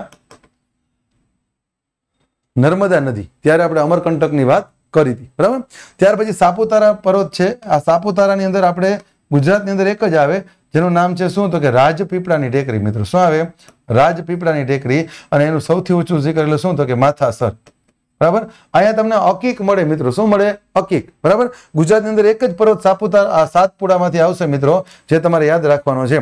પણ આની અંદર આપણે શું પૂછે તો કે રાજપીપળાની ટેકરી છે માથાસર જે છે, સૌથી ઊંચું એનું શિખર છે, જે તમને પરીક્ષા રિલેટેડ આપણે કીધું એ પ્રમાણે પૂછાય છે. બીજી વસ્તુ તમને મિત્રો આની અંદર શું પૂછાય એના વિશેની જો વાત કરવામાં આવે, તો અહીંયા અકીક. હવે અકીક એક અહીંયા આવે, એક ભરૂચ આવે. પણ પોલીસ કરવા માટે અહીંયા આણંદ આવે. અને અહીંયા જામનગર જે છે એ બે જગ્યાએ પોલીસ કરવા માટે જાય અકીકને બરાબર? આનું સૌથી ઊંચું શિખર છે, મિત્રો, યાદ રાખજો, ધૂપગઢ. શું આવશે? ધૂપગઢ. બરાબર? એની બાજુમાં જ નીચે છે ને, પંચમઢી આવે, મહારાષ્ટ્ર મધ્યપ્રદેશ, બરાબર? પંચમઢી અને એની નીચે કાન્હા, બરાબર? કાના રાષ્ટ્રીય ઉદ્યાન આવે, એના માટે તમારે થોડુંક વાંચવું પડશે. ત્યાર પછી આવશે સહ્યાદ્રી. સહ્યાદ્રી પર્વતમાળા જે છે, એની અંદર એક તો તમને ખબર જ છે, સાપુતારા. બરાબર? બીજું તમને પૂછાય તો અહીંયા ખાસ ધ્યાન રાખજો. શું આવશે? તો કે સહ્યાદ્રી પર્વત સોરી અહીંયા તમારે જે છે,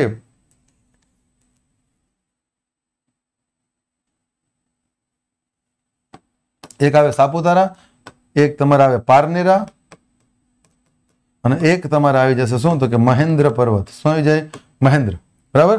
પારનેરા ટેકરીનું સૌથી ઊંચું શિખર એટલે વિલ્સન, યાદ રાખજો. શું આવી જાય? વિલ્સન. અને આ છે ને બે ફાટામાં વિભાજિત થઈ જાય સહ્યાદ્રી. હવે જો અહીંયા ખાસ જોવાનું છે, આ જેસોર છે ને, જેસોર, એને તમે શું કહેવાય? જો આ શું છે, સાત પુડા તો આ સાત પડો શું કહેવાય? સાત પડો જો અહીંયા તમને લખી દઉં સાઈડમાં, આ શું છે કે જેસોર. તો જેસોરને કહેવાય છે સાત પડો શું બોલાય છે? સાત પડો પછી બીજી આપણી પાસે જે છે ને, એ શું છે ઓલરેડી તો કે સાત પુડા શું છે? સાત પુડા તો છે જ આપણી પાસે. પણ હવે છેલ્લી જે છે આપણી કઈ છે? તો કે સહ્યાદ્રી મિત્રો, શું છે? સહ્યાદ્રી. તો એને યાદ રાખજો, પશ્ચિમ ઘાટ. બીજું શું બોલાય છે? પશ્ચિમ ઘાટ. અને એક ખાસ ધ્યાન રાખજો, સાત માળા. બીજું શું બોલાય છે? સાત માળા. તો યાદ રાખવાનું છે કે સાત માળા તો સહ્યાદ્રી, સાત પુડા અલગ જ છે. જ્યારે જેસોરને કહેવાય છે સાત પડો આમ તમને આ પ્રકારની વસ્તુ જે છે મિત્રો જોવા મળે છે.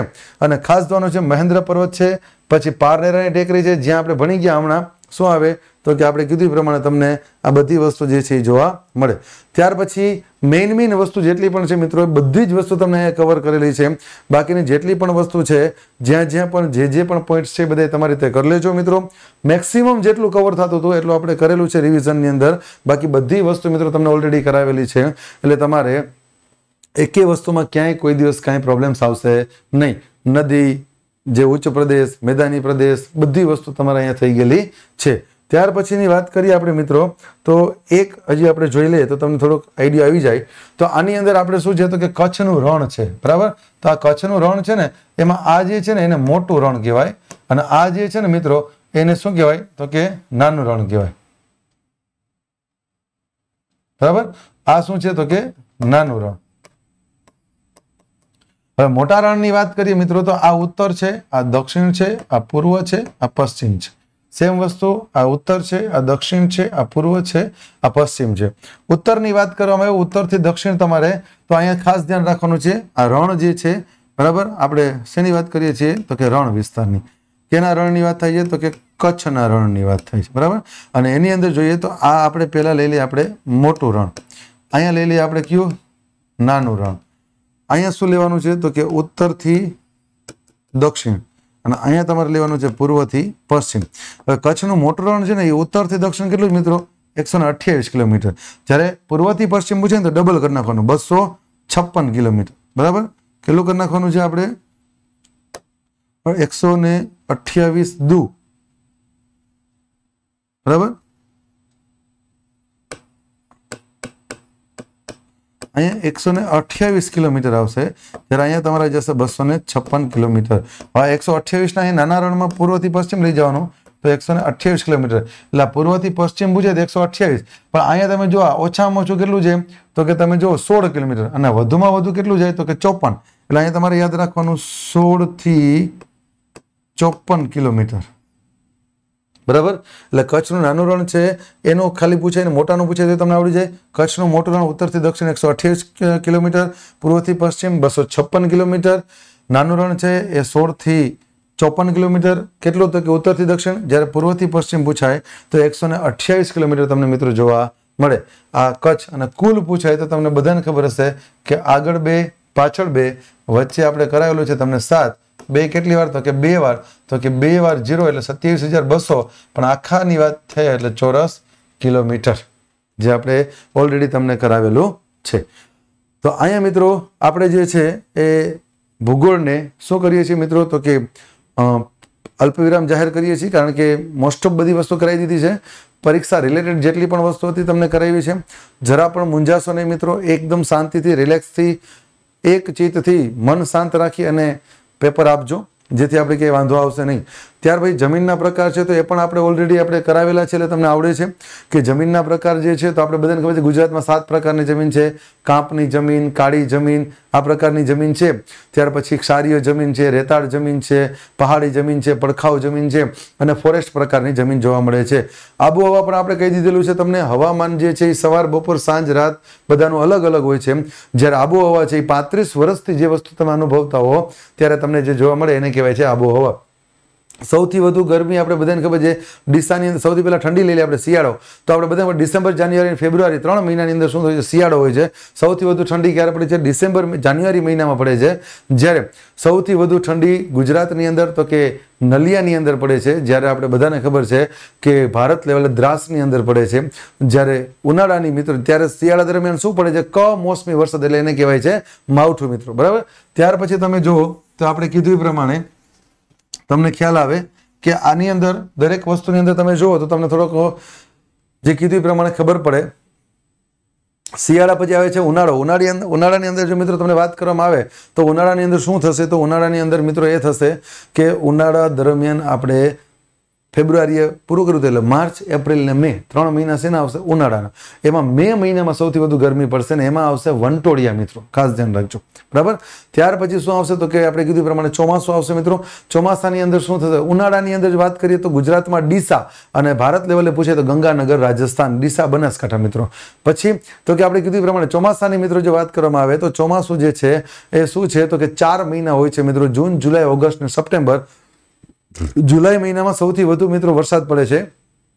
જ્યારે બીજું તમને પરિસર રિલેટેડ આપણે કીધું પ્રમાણે શું હોય, તો કે જેટલી પણ વસ્તુ છે એની અંદર ખાસ આપણે જોઈએ, તો આપણે તમને કીધું એ પ્રમાણે જુલાઈ મહિનામાં સૌથી વધુ વરસાદ મેઘાલય રાજ્યના મોન્સીનરમમાં પડે છે, જ્યારે ગુજરાતમાં વલસાડ જિલ્લાના જે છે એ કપરાડાની અંદર સૌથી વધુ વરસાદ પડે છે. ચેરાપુંજી ઓફ ગુજરાત તરીકે ઓળખાય છે મિત્રો, અને સાતથી દસ દિવસ માટે જેટલી પણ વરસાદ પડે છે એને કહેવાય છે આપણે કીધું પ્રમાણે શું? તો કે હેલી અથવા ખરડિયું તરીકે ઓળખવામાં આવે છે, જે આપણે ખાસ યાદ રાખવાનું છે. બીજી વસ્તુ આપણે આની અંદર કહેવામાં આવે, મિત્રો, જે તમારે આપણે કીધી પ્રમાણે જોવાનું હોય અને એના માટેની જો વાત કરવામાં હોય, તો ત્યાર પછી આવે છે ઓક્ટોબર અને નવેમ્બર, એટલે કે ઓક્ટોબર, નવેમ્બર છે ને પાછા ફરતા મોસમી પવનની ઋતુ તરીકે આપણે ઓળખીએ છીએ મિત્રો. અને પાછા ફરતા મોસમી પવનની ઋતુ જે છે, એમાં ઓક્ટોબર મહિનાની અંદર સૌથી વધુ ગરમી હોય ત્યારે ગુજરાતની અંદર. ગુજરાતી માસ પ્રમાણે ભાદરવો મહિનો હોય એટલે એને ભાદરવી માસ તરીકે ઓળખવામાં આવે છે. અને બીજી વસ્તુ જો મિત્રો કહેવામાં આવે, તો ઓક્ટોબર હીટ તરીકે પણ એને ઓળખવામાં આવે છે. ત્યાર પછી આપણે જે છે, તો આખે આખું જે આપણા ધાન્ય પાકો છે રોકડિયા પાકો છે, આ બધી વસ્તુ આપણે બુક્સની અંદર કરાવેલી છે. મિત્રો, તે પણ તમે જે એકવાર નજર કરી લેજો. ત્યાર પછી પશુ સંપત્તિ તમને કરાવેલી છે અને ખનિજ બધી આપણે અત્યારે આમાં તમને કરાવી દીધેલી છે, જે તમે ઓલરેડી જોઈ શકો છો. એક ખાલી ધ્યાન રાખવાનું છે કે સૌથી વધુ ભારતમાં ખનિજ તેલનું ઉત્પાદન કોણ કરે છે? તો કે અંકલેશ્વર એટલે ગુજરાત. તો ખાસ ધ્યાન રાખજો, ગુજરાતનું સૌથી વધુ સૌથી મોટું તેલ ક્ષેત્ર પૂછે તો અંકલેશ્વર. અને પહેલું પૂછે તો આપણે બધાને ખબર છે, યાદ રાખજો, આણંદની અંદર આવેલું છે લુણેજ. ઓગણીસો ને અઠ્ઠાવનમાં શોધ થઈ હતી. જ્યારે ભારતની અંદર સૌથી પહેલાં પૂછાય તો ડિગબોય આસામ ખાતે મળેલું છે મિત્રો. અને બીજી વસ્તુ તમારે યાદ રાખવાનું છે, આપણે અહીંથી લિગ્નાઇટ ખર્ચો લિગ્નાઇટ કોલસો જે છે, એ આપણને અહીંથી મળી આવે. છે મિત્રો. તો અહીંયા આપણે જે ભૂગોળ છે મિત્રો, એને તમામ વસ્તુ જે મેન મેઇન મેઇન વસ્તુ છે, એ તમને ઓલરેડી કીધેલી છે ઓલરેડી આપણે ભણી ગયા છીએ. બધી જ વસ્તુ જે છે આપણે અહીંયા તમને જોવા મળે છે. ચાલો, તો થેન્ક યુ બધા મિત્રોને બેસ્ટ ઓફ લક અને ત્યાર પછી જો મિત્રો વાત કરવામાં આવે, તો બધા વ્યક્તિ શાંતિથી, એક ચીજથી તમને બધી જ વસ્તુ મેં શીખડાવેલી છે. કઈ રીતે પેપર લખવું, શું કરવું, એ બધું જ એક ચીજથી તમે જોજો અને આગળ વધજો. બધાને જય હિન્દ, ભારત માતા કી જય. બેસ્ટ ઓફ લક મિત્રો.